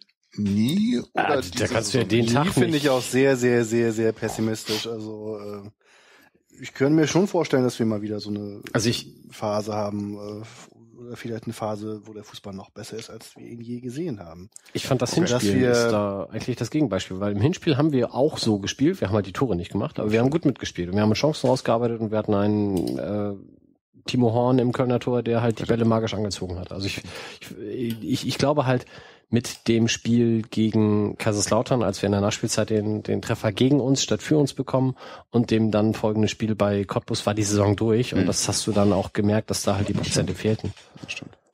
Also, deswegen also Muster ohne Wert, so, Muster ohne Wert. Ja. Das hat war nur also beeindruckend, also was, was Köln da auf die Matte gestellt hat, fand ja. ich. Das war schnelles, saugeiles Spiel, gute Innenverteidiger, irgendwie Lehmann, der da alle Fäden gezogen hat, der wirklich die Sprintwege nach hinten als sichernder Sechser gemacht hat. Ich weiß, ich fand's, ich fand's ein gutes Spiel, guten Fußball von halt Köln. Gute Leute und irgendwie Lehmann spielt gefühlt auch die beste Saison, seit er bei uns die Aufstiegssaison gespielt hat. Also hm. muss man auch sagen. Ja. Also Aber Muster ohne Wert ist, damit kann ich mich dann anfreunden und ja. Ja, und dann kam der 11. Mai 2014, das letzte Spiel des Fabian Boll. Müssen wir über das Spiel reden? Ist jetzt auch schon wieder so lange her. 2-2. Schluss. Okay. Ja. Ich kann mich jetzt wirklich nicht mehr so genau an das Spiel erinnern. Muss, äh, wie geht euch das? Ich lese hier gerade die Torschützen. Christopher Nöthe 1-0, Sebastian Meyer 2-1, habe ich auch gar nicht mehr auf dem Ja. ja, okay. Doch, das. Wollen, wollen wir gleich zum, zur Verabschiedung von Boll übergehen, oder? Ja. Ja. Tschüss, Boller, das war wunderschön mit dir. ich fand's sehr rührend irgendwie. Ich bin sonst so ein stumpfer Stein, was Spielerverabschiedungen angeht und meistens ist es dann doch eher so, naja, ich binde mich nicht an die Spieler, sondern an den Verein und jede Saison geht irgendwer und bei Boy war es dann vorher schon so ein bisschen so, dass ich dachte, okay, ist jetzt schon was Besonderes, der Gute ist zwölf Jahre in dem Verein und hat irgendwie da für mich Fußball gespielt, wenn man so will. Und das ist irgendwie nicht ganz die Hälfte meiner Fanzeit. Also es ist schon irgendwie ein Zeitraum, der irgendwie mehr Relevanz hat. Und habe dann im Stadion schon, ja jetzt nicht geheult, aber schon eine Träne im Augenwinkel gehabt. Das fand ich überraschend, weil ich da vorher von mir selber nicht so mitgerechnet habe. Und ähm, was du eben von Köln meintest mit dem ähm, Inszenierten, fand ich irgendwie, wenn dann sehr St. Pauli-kompatibel inszeniert, dass irgendwie Tees dann irgendwann angefangen hat zu singen, dann hat er irgendwann aufgehört. Das passte auch super in den Moment, fand ich. Das würde ich auch noch nicht als Inszenierung sehen. Naja, aber irgendwer wird es geplant haben und gesagt haben, und dann geht These. Ja, Bolle hat sich das ja auch schon, schon vor langer Zeit gewünscht. Ich ja, nicht, es ist aber schon eine Inszenierung. Gesagt, haben sie Klar. abgestimmt und ähm, es ist einfach eine Absprache. Also man inszeniert ist, ist eigentlich mehr, wenn es dann Podest gibt, wo dann irgendwie Uhlmann mit einem großen Umhang steht und so. Ja, gut, und ich fand es gut, wie, wie, wie, wie ansatzlos dass das kam. Also ja. das, er stand da einfach mit seiner Gitarre und hat das Lied gespielt und das Lied hat die Leute dann überzeugt und mitgenommen. Und ähm, der Mittelkreis war seine Bühne. Ja, so. Also aber das, das äh, mir gefiel daran, dass tatsächlich das Ding auch in den Momenten, wo dann auch ein, ein äh, sehr bekannter Musiker aufgetreten äh, ist, aber immer irgendwie in seiner gesamten Ausprägung von den Rängen bestimmt wurde. Also die Leute auf den Rängen haben beschlossen, dass sie das jetzt mitsingen und damit ja auch noch viel emotionaler gemacht äh, diesen, äh, diesen Moment. Und ich mein, äh, es war genug Zeit auch, äh, dass die Mannschaft, dass Boller sich von allen Tribünen verabschieden konnte. Und nebenbei fand ich dann auch gut zu sehen, dass so eine, so eine Masse sich natürlich wir kennen die Beispiele, oft auch blöd verhalten kann, äh, aber äh, in dem Moment sich wunderbar verhalten hat, indem die Leute auch erkannt haben, wir vermissen Boller ganz enorm, aber es ist jetzt auch mal an der Zeit, noch mal einen Moore, einen äh, Schindler äh, nach, nach vorne ja. zu holen. Und äh, die also entsprechend auch dann gefeiert wurden und verdammt nochmal, wer war nochmal? Einen Abschied habe ich jetzt gerade vergessen. Peinlich, Doch, Bartels. dieser, dieser ja gut, aber, aber das, das, Ding ist, das Ding ist aber Bartels insofern, äh, dass der nicht vergessen wurde, war mir schon relativ sicher, aber dass auch eben äh, Moore und Schindler äh, ihre äh, ihre Portion Liebe mitbekommen haben, das fand ich wirklich schön, weil auch das komplett überhaupt nicht inszeniert war. Richtig, aber das Geilste ist doch sozusagen, nicht dass man weiß, in keine Moment Medienkampagne vorher und es fielen dann ja auch nur relativ wenige Wasserbälle auf den Rasen. Eine Choreo nach Spielende mit Bengalo, buntem Rauch, mhm. Transparenten. Wappen, voller, voller abgehende Kurve sozusagen. Das, ich wusste in dem Moment, Boll wird der einzige Spieler sein, der jemals sozusagen nach seinem Karriereende sozusagen für den eine eigene Choreo gemacht mhm. wird. So. Also wir nehmen die Choreo auch mit auf die anderen Spieler, aber ich glaube, der Impuls war schon Fabian Boll auch zu verabschieden. Wo, wobei tatsächlich ähm, Boll auch jetzt, was weiß ich jetzt, was was Rücknummer behalten und so weiter ja, angeht, Boll wird auch dadurch aufgewertet, äh, dass oder wird wird noch wichtiger, dass er eben auch sinnbildlich für eine ganze Generation von Spielern steht. Also äh, die, die denkt, denk ich dann in dem Moment auch mit. Seine Karriere ist eben auch ganz besonders außergewöhnlich, dadurch, dass er nun wirklich von den Rängen auf den Rasen von der U23 in die erste und bis ganz nach oben äh, und so oft für zu langsam gehalten wurde und für was nicht alles und trotzdem immer noch einen draufgesetzt hat. Das macht es ja so unglaublich. Es war eigentlich ein eigentlich fast eine kontinuierliche Steigerung bis in die erste erste Liga rein. Also die fast die gesamte Karriere lief dann ja auch auf aufwärts, während man sich auch immer besser kennenlernte. Das war schon außergewöhnlich, aber eben gleichzeitig auch gestützt durch die ganze restliche Generation. Ich wollte immer eine Sache nachgucken und habe es jetzt noch nicht getan. Ich habe so oft gelesen, Boll ist der erste, der ein Abschiedsspiel bekommen wird nach außer Stani. Das stimmt doch gar nicht. Das Klaus stimmt Tom nicht, Forde zum Beispiel hatte doch auch. Und äh, und das Abschiedsspiel von Stani war doch eins für Stani und Tulsen, Stani oder? und Troller. Jawohl. Okay, gut. Alles klar. Haben wir das jetzt hier geklärt, ne? Melanton hören heißt fürs Leben lernen. Ja. Nee, habe ich, hab ich ganz häufig gelesen und dachte immer, das stimmt nicht, aber ich war mir immer zu faul nachzuschauen. Aber dass Tom Ford ein Abschiedsspiel bekommen hat, bist du da sicher? Nicht 100 Prozent muss ich zugeben, aber äh, da war doch noch. Es war, war nicht nur Stani und Troller, das würde mich schon sehr wundern. Tom Ford war zumindest gefühlt auch sowas wie 20 Jahre im Verein. Also ich, ich, kann das sein, dass der nicht am Millantor gespielt hat? Weil in den, in den Berichten ging es immer um Abschiedsspiel am Millantor. Und das für Egon Lechner war dann ja halt auch selber organisiert, zum Beispiel äh, in einer Viererkampfbahn. Die haben es ja auch nicht vom Verein gekriegt, das wäre ja. eh eine andere Diskussion, aber. Ja, auf jeden Fall äh, Abschiedsspiel im Oktober, glaube ich, wird bestimmt gut besucht werden. Es wird auch der Tag der Legenden sicherlich wieder ausverkauft sein, da soll er auch mitspielen. Können wir an der Stelle schon mal bewerben ich fand vor dem Spiel habe ich mich erschrocken. Ähm, da gab's ein Banner vor der Süd, wo dann eben drauf stand, nach zwölf Jahren Fußballheld, jetzt nur noch Beamtengeld. Wir, Wir sehen, sehen, uns, auf, auf der, der Straße. Straße. Und ich habe mich köstlich amüsiert, gelacht und alles und musste dann im Nachhinein feststellen, dass in den sozialen Medien wieder einige gesagt haben, das gibt's doch nicht, was erlaubt sich USP? Das ist ja wohl eine unfassbare Frechheit, ein Schlag ins Gesicht, ihn jetzt so und so. Nee, also da habe ich gedacht, sag mal, traut ihr denn unseren Leuten gar nichts zu, dass man an so einem Tag ein wie auch immer geartetes diffamierendes Banner bringt? Also, ja, das naja, ist doch manche so. Die Leute bräuchten halt ja nicht zu. Ähm, und aber ich fand, es waren vergleichsweise wenig. Ich habe beim Spieler gestanden und gedacht, oh, das wird wieder lustig laut. Ich fand es dann, also jetzt so im äh, Internet-Hooligan-Bereich, ich fand es dann aber vergleichsweise zurückhaltend. Also so ein paar haben rumgerupt, aber ich habe da ehrlich gesagt mehr gerechnet. Ja, ein paar gibt's aber nur wirklich immer, die dann halt den Ironieführerschein nicht gemacht haben und es entsprechend einfach über komplett nicht rallen. Ich glaube, die werden auch damals das Ding mit irgendwie nach dem Signal bitte pfeifen mit Sicherheit überhaupt nicht als Ironie erkannt haben.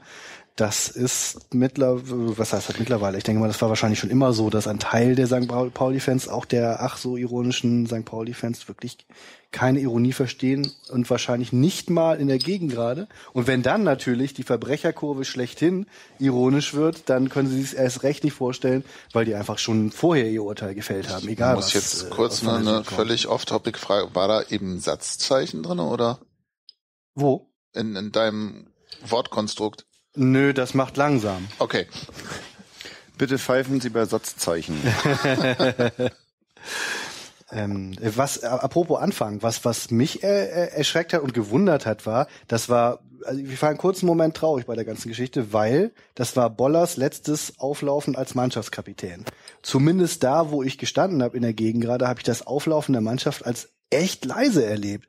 Die kamen da rein, irgendwie alle haben irgendwie geguckt, bisschen applaudiert und das war's. So mein, mein idealer, äh, ideales Auflaufen, da wird jeder vielleicht seine eigene Vorstellung haben, aber mein ideales Auflaufen ist, der Gong kommt, die Gitarre kommt, äh, kommt an, die Menge schreit St. Pauli oder singt zumindest sehr laut, also akustisches Inferno auf allen Tribünen und dann zusätzlich mit Konfetti und sonst was betritt die Mannschaft den Rasen, wird zusätzlich noch geklatscht. Aber da, wo, äh, es war wirklich leiser als sonst beim Auflaufen. Ausgerechnet da. Ich habe gedacht, ich spinne. Habe ich nicht mehr im Kopf. Also ich auch nicht dran ich erinnern. weiß nur noch, dass Völlig ich mich flaues Auflaufen. an der dann Choreo auf der Süd mit dem Hochziehen der vier Buchstaben als Trikot Hm. äh, und der dann ja noch per Zettel symbolisierten 17 erfreut habe. Da kann Ja, es das sein, sah dass ich aus. weniger laut geschrien habe, weil ich davon so ergriffen war. Ah, stimmt. Also Scheiß Süd, euretwegen, euretwegen war das Stadion so leise. Choreo, Choreo als Stimmungskiller, weil alle hingucken und gerührt sind und neugierig sind, was da jetzt auftaucht. Ja. Das war schon überraschend, aber umso, umso beglückter war ich natürlich dann, dass die Verabschiedung dann eben doch sehr emotional ausfiel. Ähm, zehn Minuten zu früh ausgewechselt. Wenn ich denn nochmal meckern darf, Herr Wrabetz. Nee, das Nee, ist, fand ich gar nicht. Ich fand das total zu viel früh. zu früh. Der hätte durchspielen müssen. Der hat auch noch eine Hütte gemacht. Ähm, erstens das, erstens das. Also wirklich jede Minute Ball ist eine Minute Torgefahr. Das ist einfach Naturgesetz. Ähm, und außerdem finde ich, das war eine Zeit, wo du normalerweise halt taktisch wechselst. Wenn ich also symbolisch wechsle, wenn es eine Geste sein soll, wechsle ich eben deutlich später, damit alle Leute sehen, das ist jetzt wirklich nur, Der damit er seinen finale Schluss private Abschied, dann wechselst du eine Minute vor Spielende. Ne? Ja. Und das fand ich schade, dass er seine Chance, jetzt nochmal die Geste genau richtig zu setzen, halt ein kleines bisschen schief gesetzt hat. Also muss ich, muss ich Gegenrede starten? Ähm, Über was wir uns streiten. Muss ich starten gegen Also, ey, Streitkultur auf hohem Niveau, geil. ich fand das Ja, das ist jetzt, seit Maggie uns dafür gelobt hat, achten wir natürlich auch darauf, dass wir uns nicht so ankarten wie sonst und Mike nicht einfach sagt, ey, Stuss, Alter. du ahnungsloses Oder du mir einfach den Scheiße, Saft Alter. runterdrehst oder so, weil das wissen die Zuhörer ja nicht. Ich sag die ganze Zeit super tolle Sachen hier. ich muss mal kurz Die gucken. werden nur nicht gesendet, Ach so, weil das Wolf das natürlich immer runterzieht. Nein, oder also- Lacher vom Band einspielt oder sowas. Bin ich jetzt langsam wieder Also drauf? ich fand das im Übrigen super. Punkt. Dadurch, die dass wir 70. jetzt, Minute jetzt oder die die die noch und 70. was war Ey, das? 75. 75. und ich Trotzdem, fand die das 75 super. sind 14 Minuten zu früh eigentlich. Also dadurch, Und dass wir jetzt über das Ich 0 lasse, zu 3, ich lasse auch über 10 Re- Minuten mit mir reden, aber, aber 75. Minute. Du guckst halt auch die ganze Ball. Zeit auf die Uhr und nicht auf den Platz. Ich guck, ja, wenn Ball spielt, gucke ich natürlich dann dahin, aber äh, äh, auf die Uhr habe ich in dem Moment gespielt, als er vom Rasen, geguckt, als er vom Rasen ging. Und ich fand, Aber Mike wollte auch noch was sagen. dadurch, dass wir über das 0 zu 3 gegen Aalen hinweggegangen sind, haben wir die ganze Boll-Wrabetz-Nummer aus dem Spiel total vergessen, wo er ja nicht im Kader stand, was ja ein großer Skandal war. Ähm, und da ja viele danach, aus meiner Sicht dann zu Recht, schon Wrabetz ein bisschen äh, argwöhnisch beäugt haben. Ich hoffe einfach, er hat aus der Nummer gelernt, so. Also alles nachzulesen im Übersteigerblock natürlich. Ähm, meine Frau sagte nach dem Spiel zu mir, der hätte den nicht auswechseln dürfen. Also im Sinne von gar nicht. Und Da Richtig. habe ich gesagt, nee, Korrekt, Nee. doch, richtig. du musst ihn doch auswechseln. Ja, letzte um Minute. Letzte ja gut, aber das Minute. ist ja schon was anderes. Also gar Ja. nicht auswechseln und letzte Minute auswechseln sind ja zwei verschiedene Sachen. Und selbst wenn trotzdem bin ich eher für gar nicht auswechseln, als für in der 74. oder so auswechseln. Richtig. Ähm, Du kannst auch das Auswechselkontingent ausschöpfen. Und wenn man dann sagt, Fabian Boll, jetzt letzte Minute, also du musst ja, da muss ja nicht mal ein neuer Spieler für kommen. Also wenn du, wenn du es, der- ja, ist doch scheißegal.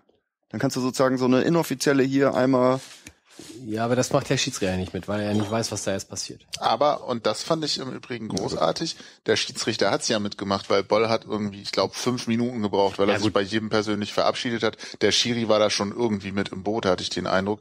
Und das fand ich wieder extrem angemessen, sich da auch die Zeit zu nehmen und eben nicht Mhm. Auswechslung. Und dann stellt sich für mich wieder die Frage, war das nicht vielleicht auch mit Trainer und scheidendem Kapitän so verabredet? Also da würde ich jetzt nicht zu viel hinein Geheimnissen. Ja, Und dann ja führst du womöglich in der 89. Minute mit 3 zu 2 und Aue will unbedingt noch ein Tor machen, weil es ja um 34 Millionen Fernsehgelder geht. Und dann wechselst du acht Minuten lang aus. Das geht natürlich nicht.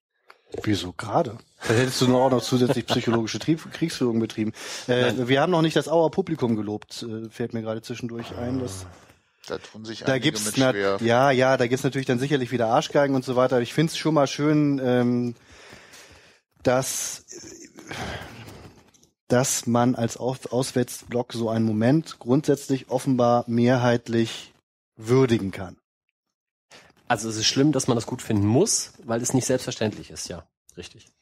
Das stimmt. Und dann gibt's dann sicherlich in der, in der Detailanalyse des Fanblogs erschreckende Dinge, die ich zum Glück jetzt auch nicht so genau weiß. Trotzdem würde ich mal davon ausgehen, dass das, äh, dass die Proportion an erschreckenden Gestalten zumindest im Handeln nach etwas günstiger ausfällt, also weniger als bei anderen. Ja, ich glaube, die negativen Dinge beziehen sich vor allem auf Spiele in Aue. Das, äh, den Gästeblock hier habe ich auch meistens sehr angenehm empfunden. Aber man könnte sich auch darauf einigen, dass die sich so verhalten haben, wie es eigentlich alle tun sollten mhm. in der Situation. Und ja, aber eben wirklich die wenigsten tun würden oder getan haben. Weiß ich nicht. Ich erinnere mich noch an Wattenscheid. Hat Sandhausen ging das doch komplett am Arsch vorbei. Habe ich, als, als wir, als wir fanden es vielleicht beeindruckend, aber der hat jetzt keinen Schal hochgehalten, als wir Fabio Morena besungen haben. Oder es war so ein bisschen bizarr für die, glaube ich, eher. War das Sandhausen? Wobei Sandhausen war natürlich, dabei? da standen dann 20 Leute oder so. Äh, ich habe dann auch mehr auf Fabio geachtet, aber. Okay. Ähm, habt ihr eigentlich vorhin Thomas Megle gefragt, ob er gerne den, den Co-Trainer Boll möchte? So, das war mir nicht ganz klar irgendwie. Ja, das Problem war ja auch, dass das, das äh, ganze vertraglich ja noch in den trockenen Tüchern ist, so dass äh, Maggie dann ja auch diplomatisch antworten musste, weil die Rolle von Boll wohl doch noch nicht ganz so genau geplant oder genau vertraglich festgezurrt zu sein scheint, wie äh, das zwischenzeitlich schien. Habt ihr das auch so empfunden? Weil so habe ich das jetzt verstanden, so im Sinne von nicht mal Trainer, die Entscheidung treffen natürlich andere und da muss er sich natürlich. Meine, vielleicht ist es ja auch so, dass du als, als, als, als Trainer oder Co-Trainer sozusagen im sportlich verantwortlichen Bereich doch ein anderes Arbeitspensum hast als als Profi, wo du dann ein, zweimal trainierst oder vielleicht sogar freikriegst. Also vielleicht ist das ja sogar mit dem Job viel schwieriger vereinbar, Trainer und noch einen Job nachzugehen. Aber als, soll er als denn Profifußballer. Co bei den bei der U23 werden? Ja, das stand mhm. in den Medien irgendwie ja. oder das war irgendwie so. Okay, ich hatte irgendwas von also Jugendtrainer gehört. Durch, durch ist das nicht, aber es ist eine von vielen Optionen, ja. So. Ich war, da können wir jetzt glaube ich nur spekulieren, das können wir auch lassen. Genau, aber ich würde gern wissen, habt ihr das Relegationsspiel HSV geguckt? Mhm. Einfach nur wo? Ja. Wo und wie? Zu Hause. Zu Hause. Alle zu Hause? Äh, nee, bei den Schwiegereltern. Familien, Familienfußball gucken. Wie kommst du jetzt darauf oder warum? Nee, einfach nur, weil irgendwie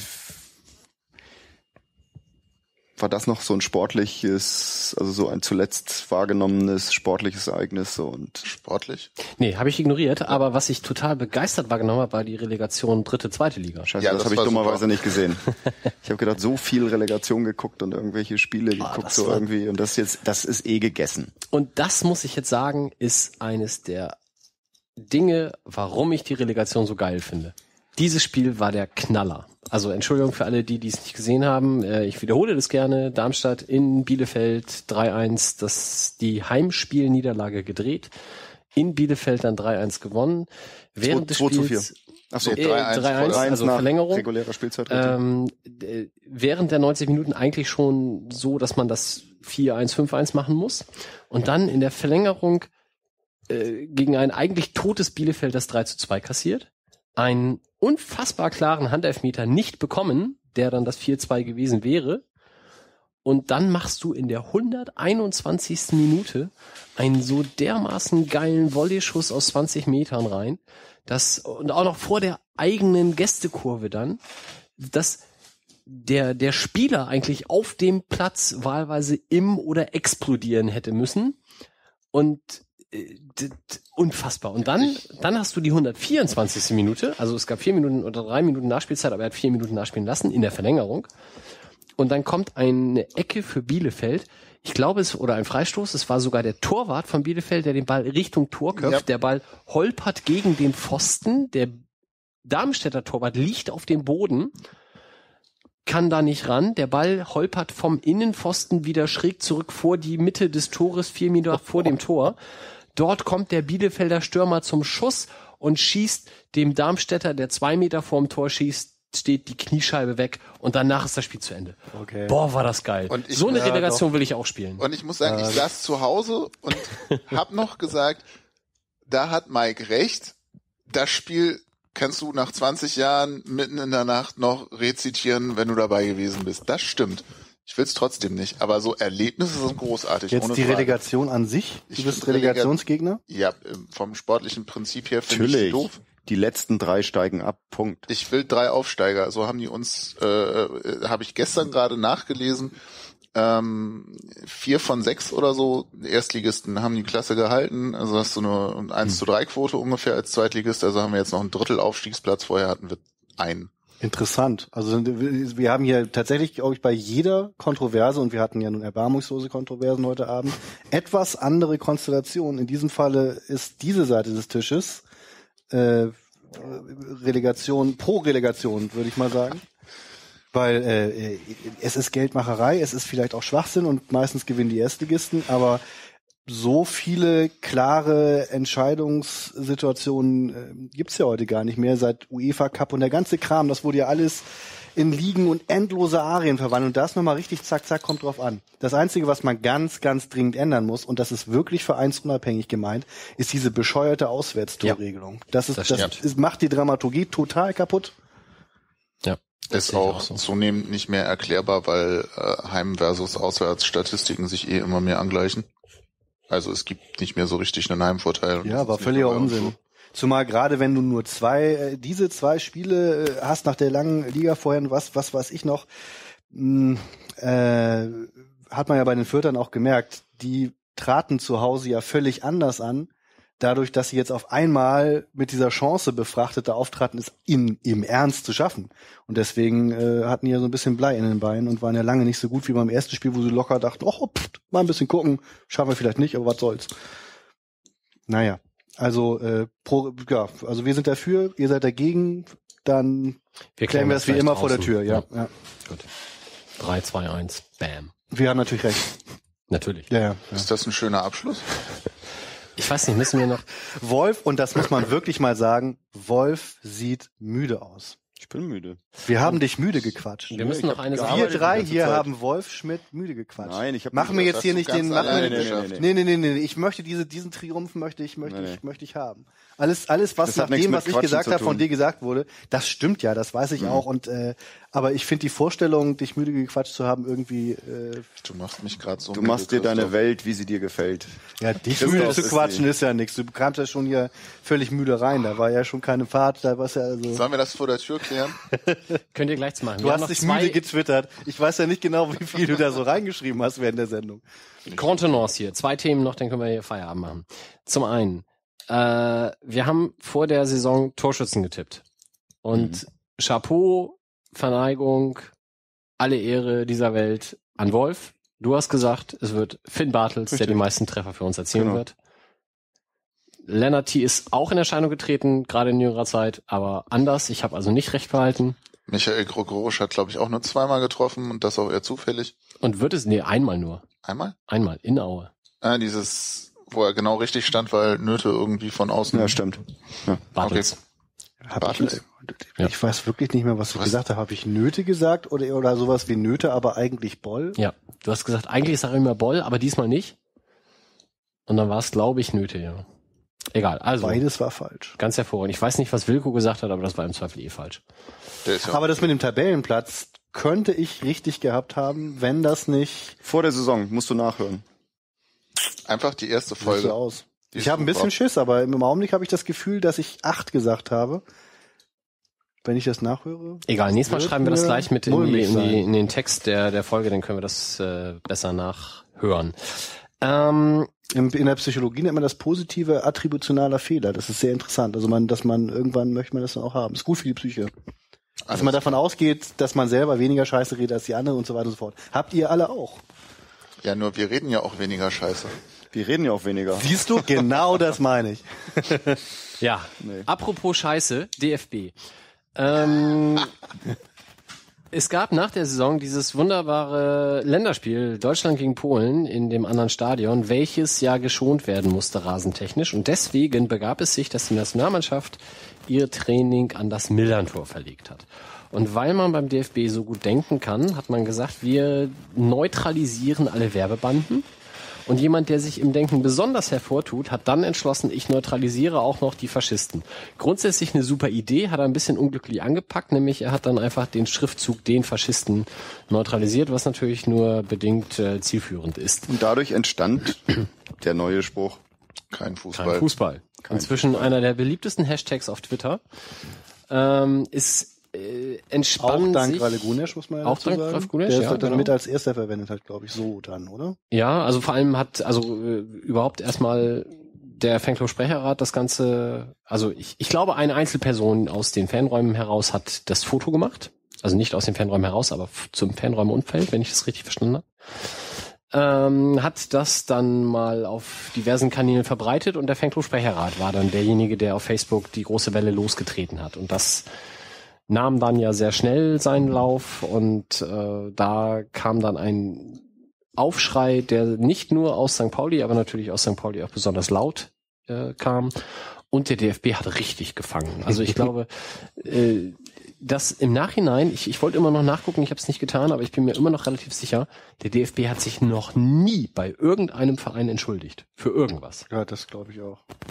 Und alleine diese Pressemitteilung des FC St. Pauli, dass sich Wolfgang Niersbach beim FC St. Pauli entschuldigt hat für diese Tat, müsste man nochmal ausdrucken, einrahmen und irgendwie in der Autoflex-Schneise draußen an die Wand nageln. Also finde ich das ganz war toll. so ein schönes Gefühl und, und ich glaube, du hast es bei Twitter auch irgendwann mal geschrieben, sinngemäß, eigentlich hätte diesem Spruch nichts Besseres passieren können, weil plötzlich war präsent. Ja, so, genau so ist es ja. Vor allen Dingen hat es, hat es, es klingt jetzt erstmal komisch, aber es hat den Spruch politisiert. Also es hat dem eine neue Schärfe gegeben. Vorher äh, habe ich mich durchaus auch manchmal mit Leuten unterhalten, die dann gesagt haben, naja gut, da steht da kein Fußball den Faschisten, aber im Ernst, das ist, das ist alt so. Also, dass ihr braucht was, was, was wieder was noch provoziert, das ist doch längst Konsens. Warum schreibt ihr sowas dahin? Und ich habe gesagt, nee, ich finde das super, dass es da gemalt ist, dass es nichts ist, was man abhängt. Das hat mich übrigens ein bisschen gestört, dass es immer als Banner bezeichnet Ja, wurde. Ja, ich finde es gut und wichtig und noch eine Stufe besser, dass es gemalt ist. In einem Stadion keine Videobotschaft, die man mal eben ändert. Das ist da so, das steht da so und es provoziert dann ja doch noch sehr viel mehr, als dann eben manche Leute angenommen haben. Es provoziert ja unter anderem auch die Propagandaabteilung des mächtigsten Fußballverbandes Europas. Und äh, wer auch immer der Vogel war, der diese Entscheidung getroffen hat, hat sicherlich immer noch nicht verstanden, warum das falsch war, weil sonst hätte er die Entscheidung nicht getroffen, wenn er irgendwas da oben hätte. Aber der Spruch wurde nochmal äh, so als, als scharfes politisches Statement nach vorne gebracht und viel, viel mehr verbreitet, in viel mehr Bewusstseine auch gerückt, als das vorher über der Fall. Vorher war es Deko, auf einmal ist es wieder ein Statement. Zumal irgendwie, ich weiß nicht, ich glaube, die Bayern-Fans hatten kein Fußball den Faschisten mit im Pokalfinale als Banner. Wo habe ich es noch gesehen? Und vor allem, was ich da noch ergänzen möchte bei den Bayern, die haben das sogar so großartig gemacht, dass sie das hingeschrieben haben auf einem Banner und das den Faschisten auch mit einer grünen Tapete vorher verhangen haben. Schön, Das habe ich erst später gesehen. Das war mir am Anfang gemacht. gar nicht so klar. Ich habe nur gedacht, die hätten das Banner hochgehalten. Nein, nein. Ja. Die haben also auch das den Faschisten grün abgedeckt und dann irgendwann enthüllt. Also Kannst du das in dem. Posting zu dem Beitrag nochmal verlinken? irgendwie? Ja, wenn ich es finde. Mhm. Übrigens wollte ich noch mal kurz klarstellen mit von vorher war es Deko in der Wahrnehmung von manchen Leuten, wollte ich noch mal ganz kurz präzisieren. Also ich habe das nicht als Deko empfunden, sondern als sehr gut. Aber du wolltest noch was sagen, Sebastian. Ähm, wollte ich? Nicht nur die Bayern, sondern auch. Ich habe es noch irgendwo anders gesehen. Ich weiß aber ehrlich gesagt auch nicht mehr wo. Aber ich habe nach dieser DFB-Aktion tatsächlich eine Reihe von Sachen mitgekriegt, wo das dann plötzlich thematisiert wurde, auch von außerhalb des St. Pauli-Kosmos. Was natürlich immer schön ist, wenn sowas dann Wellen au- auch schlägt, die irgendwie Leute erreicht, die es nicht sowieso schon vor der Fresse haben. Und ähm, nö, coole Sache eigentlich. Spannend wird's, wenn sie noch mal trainieren, wird sich jemand finden, der dann kein Fußball abdeckt, sodass Nein, der aber das DFB Ding endlich genau das Statement hat, was sie sich immer schon gewünscht Nein, aber das Ding, die, die, die Erklärung fand ich ja krass sozusagen, dass sie keine Fotos haben wollten, wo Nationalspieler mit dem Schriftzug Faschisten hinter auftauchen. Ja, wobei dann der, der Pressevogel auch seine grenzenlose äh, Sprachkompetenz gezeigt hat, indem er kein Fußball den Faschisten vier Worte. Ja, nicht mal das konnte er richtig zitieren. Ich- ich- nicht mal das. Also ganz ernsthaft, was ist das für ein Presseheini? Nee, aber die Entscheidung habe ich insofern verstanden, dass das wird nicht der Presseheini Die, gewesen die ganze sein, Welt regt sich über dich auf. Du musst ein super wichtiges Twitter-Statement schreiben und du so, kriegst der. es nicht gebacken, das Statement richtig zu zitieren. Der Mann hat, der, der Mann hat ja geschrieben, wir möchten doch nicht, dass unsere Nationalspieler vor dem Schriftzug für Faschisten gefilmt werden. Also Ja, nicht so ungut, aber das für und das den, drei Buchstaben, die machen aber schon mal einen ziemlichen Unterschied. Auch wenn es bedeutungsähnlich ist, trotzdem wünsche ich mir einfach von einem Presseheini, dass er in dem Moment merkt, oh, ach du Scheiße, die Kacke ist am Dampfen, ich bin hier jetzt mal als Profi gefragt. Und als was entblößt er sich? Als kompletter, aber unpräzise, denkender, schlecht arbeitender, voll nussiger Honk. Okay, aber ich meine, ich finde das, ich finde das ein bisschen schade, Jens schade, Grittner ganz kurz, dass du dich da sozusagen, wer, wie heißt der Typ? Jens Grittner. Das war der Mann, der da in der Pressemitteilung. Ja, wofür kriegt der. Typ Geld? Nein, Im aber bitte, Ernst? aber bitte jetzt, Es ist ein bisschen komisch, dass Geh- ich mir jetzt nicht- quasi den DFB geh- in geh- Schutz geh mal nicht- nehmend aufrege. Nein, geh mal nicht in die, geh mal, Güte. geh mal nicht auf das Formelle ein. Geh mal nur auf die Idee ein. Da steht, also der Zusammenhang, ein Nationalspieler oder eine Gruppe und im Hintergrund sieht man den Schriftzug Faschisten, dass es nicht gewünscht ist. So. Wie viele Kamerateams waren in deinem Stadion? Ja, ist ja 20? wurscht. Man, man, Ja, ich meine auch wiederum- Christoph, Christoph, lass die mich ganz kurz mal. Ich möchte mal ganz kurz, ich möchte ganz kurz eine Frage stellen. Ich möchte ganz kurz Finde eine ich Frage nicht. stellen. Nö, Die Frage, die Frage eine ist, amateurhafte Entscheidung von Nein. einem, von einem Ich hab- totalen ja, Lass doch Christoph, lass mich kurz mal ausreden. ausreden. Die Frage, die ich mich gestellt, die ich mir gestellt habe, ist, wenn da jetzt für so einen Fall, und wir nehmen diese Überlegung ernst, dass man dieses Faschistenwort nicht isoliert haben will, sondern in einem Zusammenhang, könntest du dir vorstellen, du hast dann Banner, wo jeder, wo kein Fußball den Faschisten. Jeden Meter steht das als wiederholter Schriftzug. Tak, tak, tak, tak, tak, tak, tak, tak, tak, tak, tak, tak. Wie so eine, wie so eine Musterwiederholung. So. Wäre das genehmigt worden? Wäre das okay gewesen oder wäre das nicht okay gewesen? Ja, das, ja gute Und das Frage. ist, das ist, das ist, Frage. das ist genau die, Aber Und was, glaube, pro was jetzt die Pressearbeit angeht, ähm, da der DFB sich ja eben gerne immer mit so Symbolaktionen, die überhaupt nichts bedeuten, wie wir alle wissen, dieser ganze Antirassismus-Quatsch, den die da irgendwie nach außen raus, raus tun, wenn im Stadion rassistisch gebrüllt wird, wenn im Stadion antisemitisch gebrüllt wird oder homophob, in Rostock zum Beispiel, ist das dem DFB bekanntlich scheißegal. Wer wurde damals angegangen? Der FC St. Pauli, weil seine Fans angeblich Rostocker Spieler als Nazi tituliert äh, haben. Hab ich mir sehr stark gemerkt. Ja. So arbeitet dieser Verband. Also das heißt, eigentlich haben sie sich selber schon vorher entlarvt.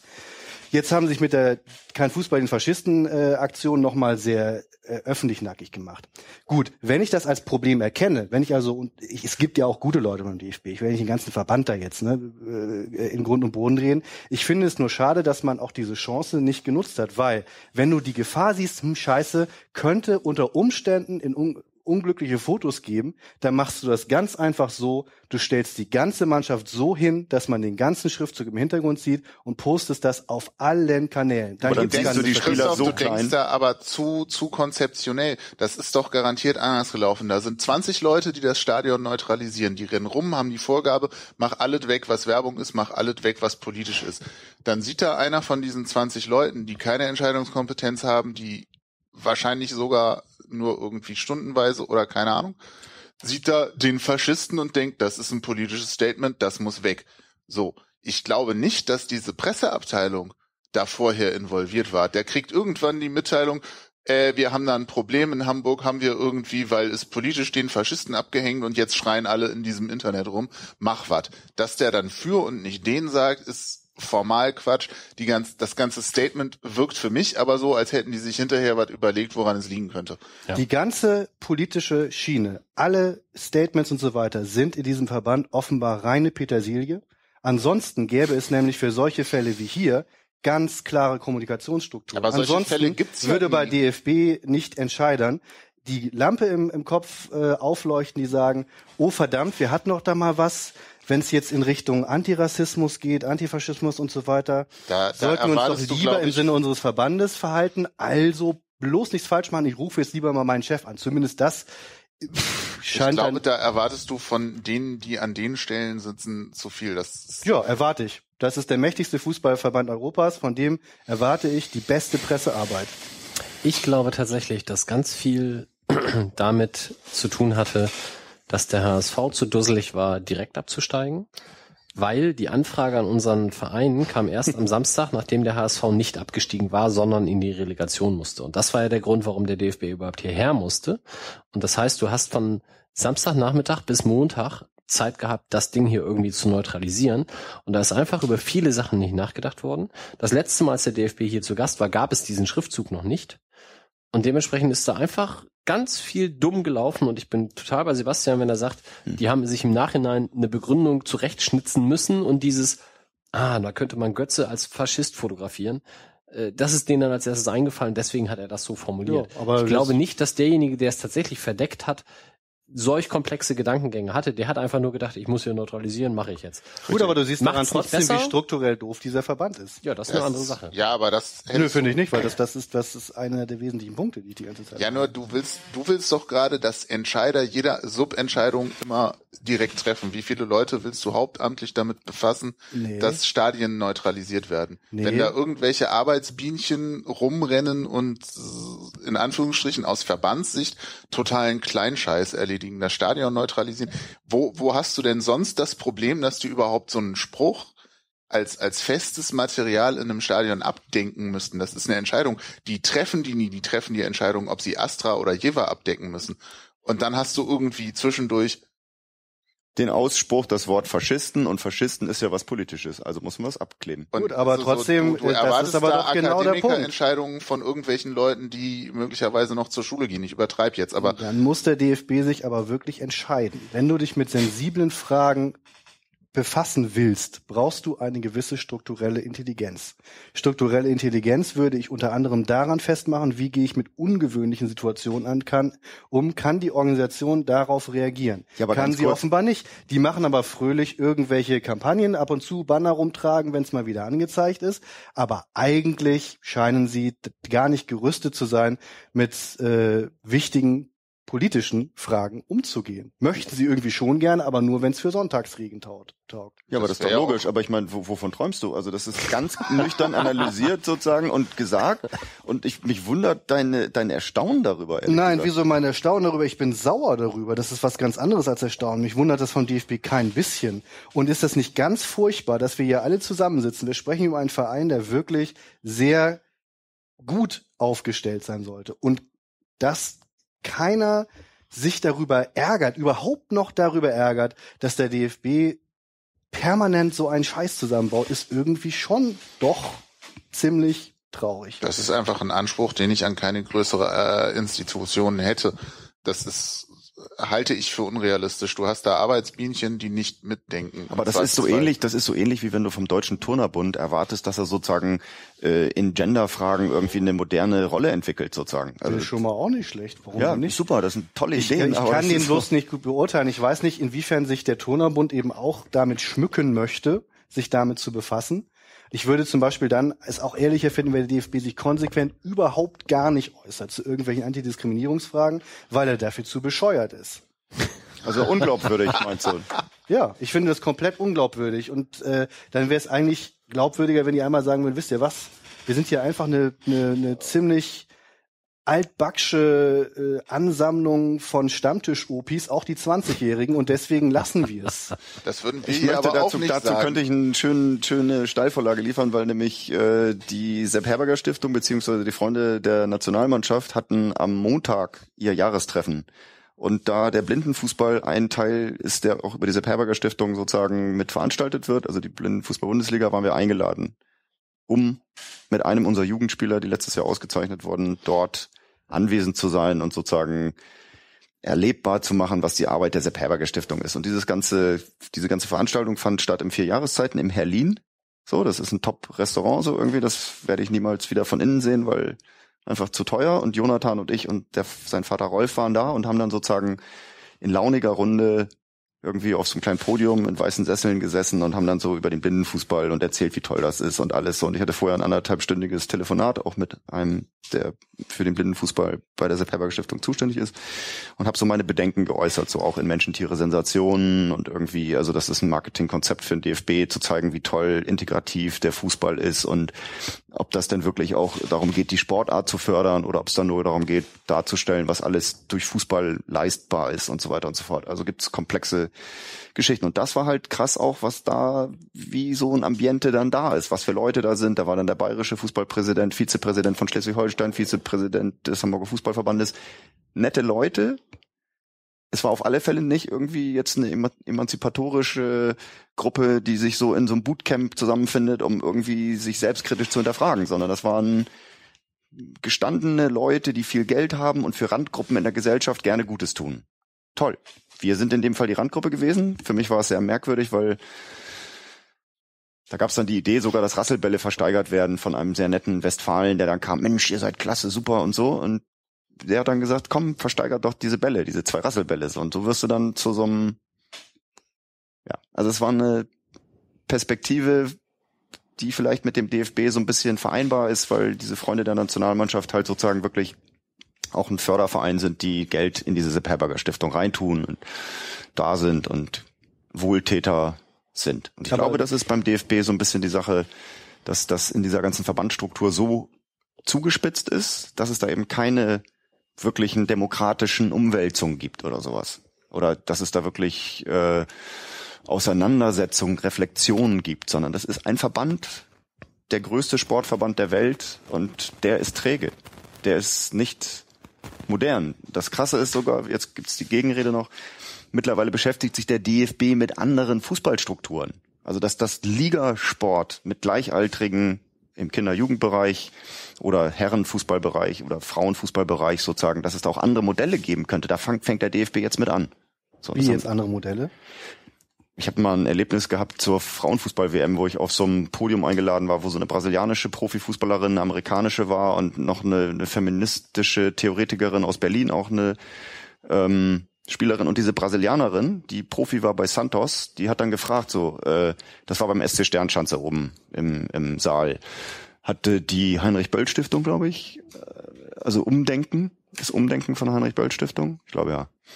Die hatten das veranstaltet und dann wollte diese äh, brasilianische Profifußballerin, die hat gesucht, die hat gefragt, ey, wo kann ich kicken, wo kann ich Fußball spielen und so. Ich, ach du Scheiße da kommt jetzt hier so eine Profitante, ja, HSV hat irgendwie eine, eine, eine Bundesligamannschaft, ich weiß, die haben auch eine Zweitligamannschaft, ja, da könnte es vielleicht gehen. Sternschanze Frauen, St. Pauli Frauen, nee, das, die sind alle nicht gut genug für dich so. Und im Endeffekt stellte sich raus, die hat sozusagen arbeitet in Brasilien in so einem Projekt, wo die halt einfach kicken. Die kicken mit jungen, alt, Männer, Frauen gemischt und die hatte einfach Bock, Fußball zu spielen, zu kicken. Und ich habe gedacht, scheiße, wieso habe ich hier meine, meine, meine, meine Trainerscheuklappen auf und denkt so, ich muss der jetzt sozusagen für ihr Niveau eine Trainingsgruppe bilden, weil die hat Bock auf ihrem Niveau jetzt irgendwo ihren Sport zu treiben. So, die hat einfach nur Bock, Fußball zu spielen. So. Und da ist der DFB noch meilenweit von entfernt, sozusagen äh, ja, bunte Ligen irgendwie waren. Spaß am Spiel. Spaß am Spiel und in welchen Formen gibt's das? Und das macht der DFB ja modern, also es geht ja dann durchaus auch weiter, aber das ist dann auch immer so konzeptuell, dass du quasi dir vorstellen kannst, dass es irgendwann äh, es gibt so im, im Sportbereich so äh, äh Bausteine, wo du unebenes Gelände nachbaust. Das ist total super für die Koordination. Kannst beim Sportkatalog, Sportteam kannst du dann kaufen, so Platten oder dass du wieder anfängst, so den selbstgemachten Ball, da hast du so, so eine Strumpf, bisschen Kordel, vielleicht eine alte Blechdose und daraus kannst du dann sagen, so, wir bauen uns jetzt mal wieder einen Ball wie früher. Also so würde der DFB das dann machen. Also altbacken sozusagen die, die, die, die organischen, lebendigen Strukturen so nacharbeiten, so, ohne da wirklich ein Bestandteil von zu sein. So, das ist, glaube ich, der. Ich glaube, ergänzend dazu, mhm. Fußball ist deren Thema und selbst da hinken die teilweise hinterher und neue Konzepte in so einem Ligastruktur bla unterbringen ist total komplex. Antifaschismus ist für die im besten Fall ein Statement, das sie unterschreiben und unterstützen, aber nichts, wo, wo da jetzt irgendwie großartig Brainpower investiert wird, glaube ich, im normalen Alltag und von daher. Wobei du die ja nicht mal brauchst. Das ist ja eben das Traurige an der Geschichte, dass du da relativ einfach sehr konsequent sein kannst, weil ja, nur, das du, eben du gehst, du gehst von unserem Frage ohne hier aus, Christoph. Guck dir an, wer hier im Stadion steht. Guck dir die Diskussion an, als rauskam, dass da kein Fußball den Faschisten stehen wird oder als es dann raufgemalt wurde, wo zumindest im Forum dann auch Hupen waren, die irgendwie so, kann da nicht was stehen, was die Mannschaft anfeuert, was irgendwie relevant Stimmt, ist. Ja, also so. Aber so, das waren nur das, wirklich verschwindend wenige, die dann. Ja, ich fand es nicht so wenig und das ist Optische Anfeuerung hatten wir damals ja auch schon sehr erfolgreich mit den SMS-Botschaften. Da steht ja auch keiner davor. Ähm, nee, aber weißt du, wenn du in unserem Mikrokosmos, wo dieses Thema die ganze Zeit präsent ist, so viele Nasen hast, die sich entweder nicht dafür interessieren oder nicht in der Lage sind, sich damit auseinanderzusetzen, dann finde ich, ist zumindest nicht überraschend, dass, und das ist jetzt kein, kein Freispruch, aber dass in so einer Struktur wie der, dem DFB, wo dann irgendwelche Leute hier das Stadion neutralisieren in fünf Stunden, die das immer mal machen oder so, äh, dass da sowas passiert, finde ich nicht überraschend. Dazu steht in zu wenigen Stadien in Deutschland kein Fußball den Faschisten an der Mauer. Ja, das also, steht nur in einem und äh, insofern muss man auch eine schöne Pointe aus dem ganzen davon auch nicht ganz übersehen, dass, dass die Rollrasenverleger, Versager aus, aus Stellingen mal wieder letzten Endes über eine Rasenfrage es geschafft haben, dem FC St. Pauli einen massiven Propagandagewinn zu verschaffen. War nicht beabsichtigt, war aber so. Stark, stark. Wenn beim HSV der Rasen nicht, nicht, nicht läuft und äh, dann passiert kurz darauf was Tolles auf St. Pauli, kann man fast schon eine historische äh, Konstante draus machen. Nur das letzte Mal, dass es so war, bekanntlich, wurde zwar ein Stelling gewonnen, aber man hat sich hier ja auch sehr, sehr darüber gefreut. Ja, also ich bin da ganz bei Sebastian. Ich äh, unterstelle denen da keine Absicht. Ich glaube, da hat einfach jemand nicht nachgedacht und dumm gehandelt. Macht's null besser. Ist total bescheuert und äh, im Nachhinein kann man sich einfach nur beim DFB bedanken für diese dumme Aktion, weil hat halt unheimlich viel Publicity verschafft. Ich bin mir aber umgekehrt auch sicher, so ein Ding passiert denen nicht nochmal. Da ich bin glaube, ich gespannt. Ich glaube beim da nächsten Mal. Da bin ich echt gespannt, weil ich frage mich auch, ob ein, ob ein Wolfgang Niersbach zum Beispiel daraus gelernt hat und glaube immer noch. Ihr habt recht in eurer Beschreibung, warum der DFB blöd ist und so weiter und, ja, und wie schwer das ist. Ja, aber er hat sich schwerfälliger, dieser, dicker äh, Verband. Ich, ich bleib jetzt einfach mal dreisterweise dabei, äh, dass, dass das diese, dass die ganze Antifaschismusfrage relativ leicht besser zu machen gewesen wäre und das kann gerade ihr habt ja auch beschrieben, wie hierarchisch das Ganze aufgebaut ist. Gerade in so einem hierarchisch aufgebauten Ding muss das doch möglich sein, dass, dass der Chef jetzt sagt, so Leute, das war richtig Mist, wer weiß, wie die Ansagen waren. Das machen wir jetzt mal konsequenter. Ihr achtet ab jetzt mal ganz genau, unter anderem mal auf äh, rechtsradikale Sprechchöre in Stadien, nee, nee, homophobe nee, nee, Sprechchöre nee, nee, Kram, ich glaube, die ich glaube. Ich glaube, die Problematik, warum das auch eine Welle geschlagen hat, ist, dass in einem Verband wie dem DFB immer noch sozusagen vielleicht als nicht als Leitlinie des Verbandes oder nicht als vorausgetragenes Transparent oder als Schlaglinie existiert. Fußball und Politik gehören nicht zusammen. Das, ich glaube, dass das immer noch sozusagen verankert ist und dass in dieser, auf diesem irgendwie Nährboden oder auf, auf diesem Konsens sozusagen eine Neutralisierung des Wortes Faschisten stattgefunden hat. Und genau das ist das Ding, äh, das ist genau das Körnchen, an dem man sich dann reibt oder an, an dieser Grundlage. Weil das ist, also Antifaschismus ist ja nichts Linkes, sondern ist ja quasi das Zentrum der Gesellschaft so, in der wir leben oder das ist ein absoluter so, das ist ja das ist ja das Grundwert, das ist Frage, ja der der mittel der, der mittlerste bürgerliche Grundwert, den es gibt, finde ich. Also ja. und das ist ja nichts Linkes. Das ist ja das ist ja ein Konsens. Das ist ja ein eine Selbstverständlichkeit. Eine Selbstverständlichkeit. Aus genau. dem eben viel, viel anderes eben auch folgt. Mal gespannt, ob die das jetzt kapieren und wie sie danach handeln. Ich würde nicht unbedingt darauf hoffen. Ich würde wetten, dass es in naher Zukunft einen Fototermin gibt. Wahlweise mit Nationalspielern, vielleicht auch nur mit einer Jugendnationalmannschaft, keine Ahnung. Vielleicht ein Jugendländerspiel und da wird der DFB genau das, was ich glaube Wolf gesagt hat, ein, oder du gesagt hast, Christoph, ein, ein, ein Mannschaftsfoto mit dem kompletten Spruchband machen. Das glaube ich nicht, weil das so breit ist, dass die Mannschaft so klein drauf wäre. Das wäre vom das, Fotografischen das gar nicht machbar. Kriegt man hin, da haben wir kreative Köpfe, die das schaffen. Also das glaube ich schon. Ähm, um jetzt doch noch den positiven Bogen zu schlagen, es findet am Wochenende statt das Fanclub-Turnier des FC St. Pauli hier im Millantor vor einem völlig unverhüllten Schriftzug, kein Fußball den Faschisten. Und es findet am folgenden Woche, also das ist am Samstag von 10 bis 18 Uhr. Und am nächsten Wochenende, am Donnerstag startet bereits die Millantor Gallery Teil 4. Und bis Samstag kann man da wunderbare Sachen hier sehen. Werden wir alles verlinken, könnt ihr euch da nochmal genauer angucken. Und von Freitag Wer mich bis lustige Sachen erzählen sehen möchte, kann um 16.30 Uhr am Samstag, dem 31. hingehen. Ähm, dann werde ich nämlich da auch auftreten. Freue mich sehr drauf. Okay, das war jetzt die Warnung, ja, danke. Und äh, von Freitag bis Sonntag findet das statt, das Anti-Rad-Turnier äh, mit internationalen Mannschaften auch am Millantor, auch vor unverhülltem Schriftzug.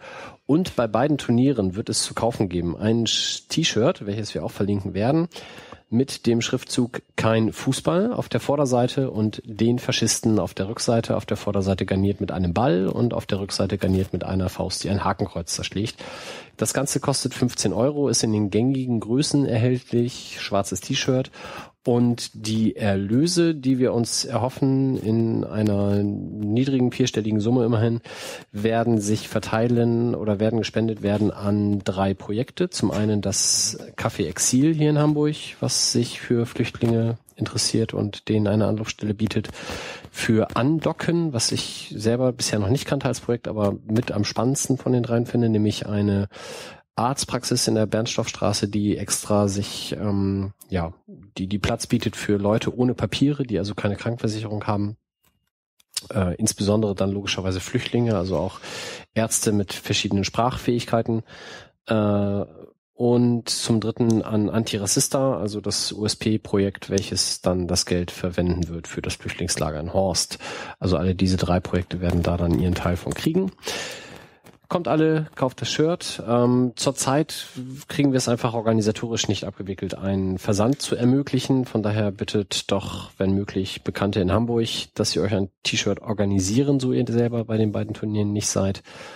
Ähm, sollte es nach den Turnieren noch T-Shirts geben, werden wir das dann ganz normal über den Fanladen verkaufen und dann ab Saisonbeginn sicherlich auch einen Versand bewerkstelligen können. Wer das alles gar nicht hinkriegt, der sei noch an Pink Macabre verwiesen. Die haben auch ein T-Shirt und da kann man das auch bestellen, ähm, schriftlich, beziehungsweise über der Website pinkmacabre.de.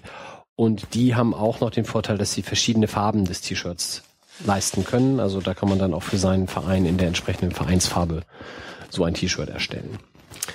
Wollen wir zusammenlegen und Jens Grüttner ein, ein, äh, eins schicken? Reicht, das wäre lustig. Reicht auch die T-Shirt-Rückseite, damit er den Spruch einmal richtig lernt? Das sollten wir tun, ja. Ich finde ich, finde ich eine gute Idee. Machen wir. Mit Fototermin. Mit Fototermin. Mal sehen, vielleicht ist der DFB jetzt dermaßen verängstigt, dass er dann auch äh, gleich den ganzen Übersteiger irgendwie nach Frankfurt einladet und ihr könnt auch mal lecker essen gehen. Schweigen. Ja. ähm, Gönnt euch keiner. Konstruktion da, die nicht richtig stimmt. Nee, nicht. stimmt, das war natürlich Quatsch, aber, aber äh, grundsätzlich das T-Shirt nach Frankfurt zu schicken, finde ich. Ist eine gute Idee, ja, sollten wir machen. Und wir sind wirklich einfach gespannt, was machen die daraus?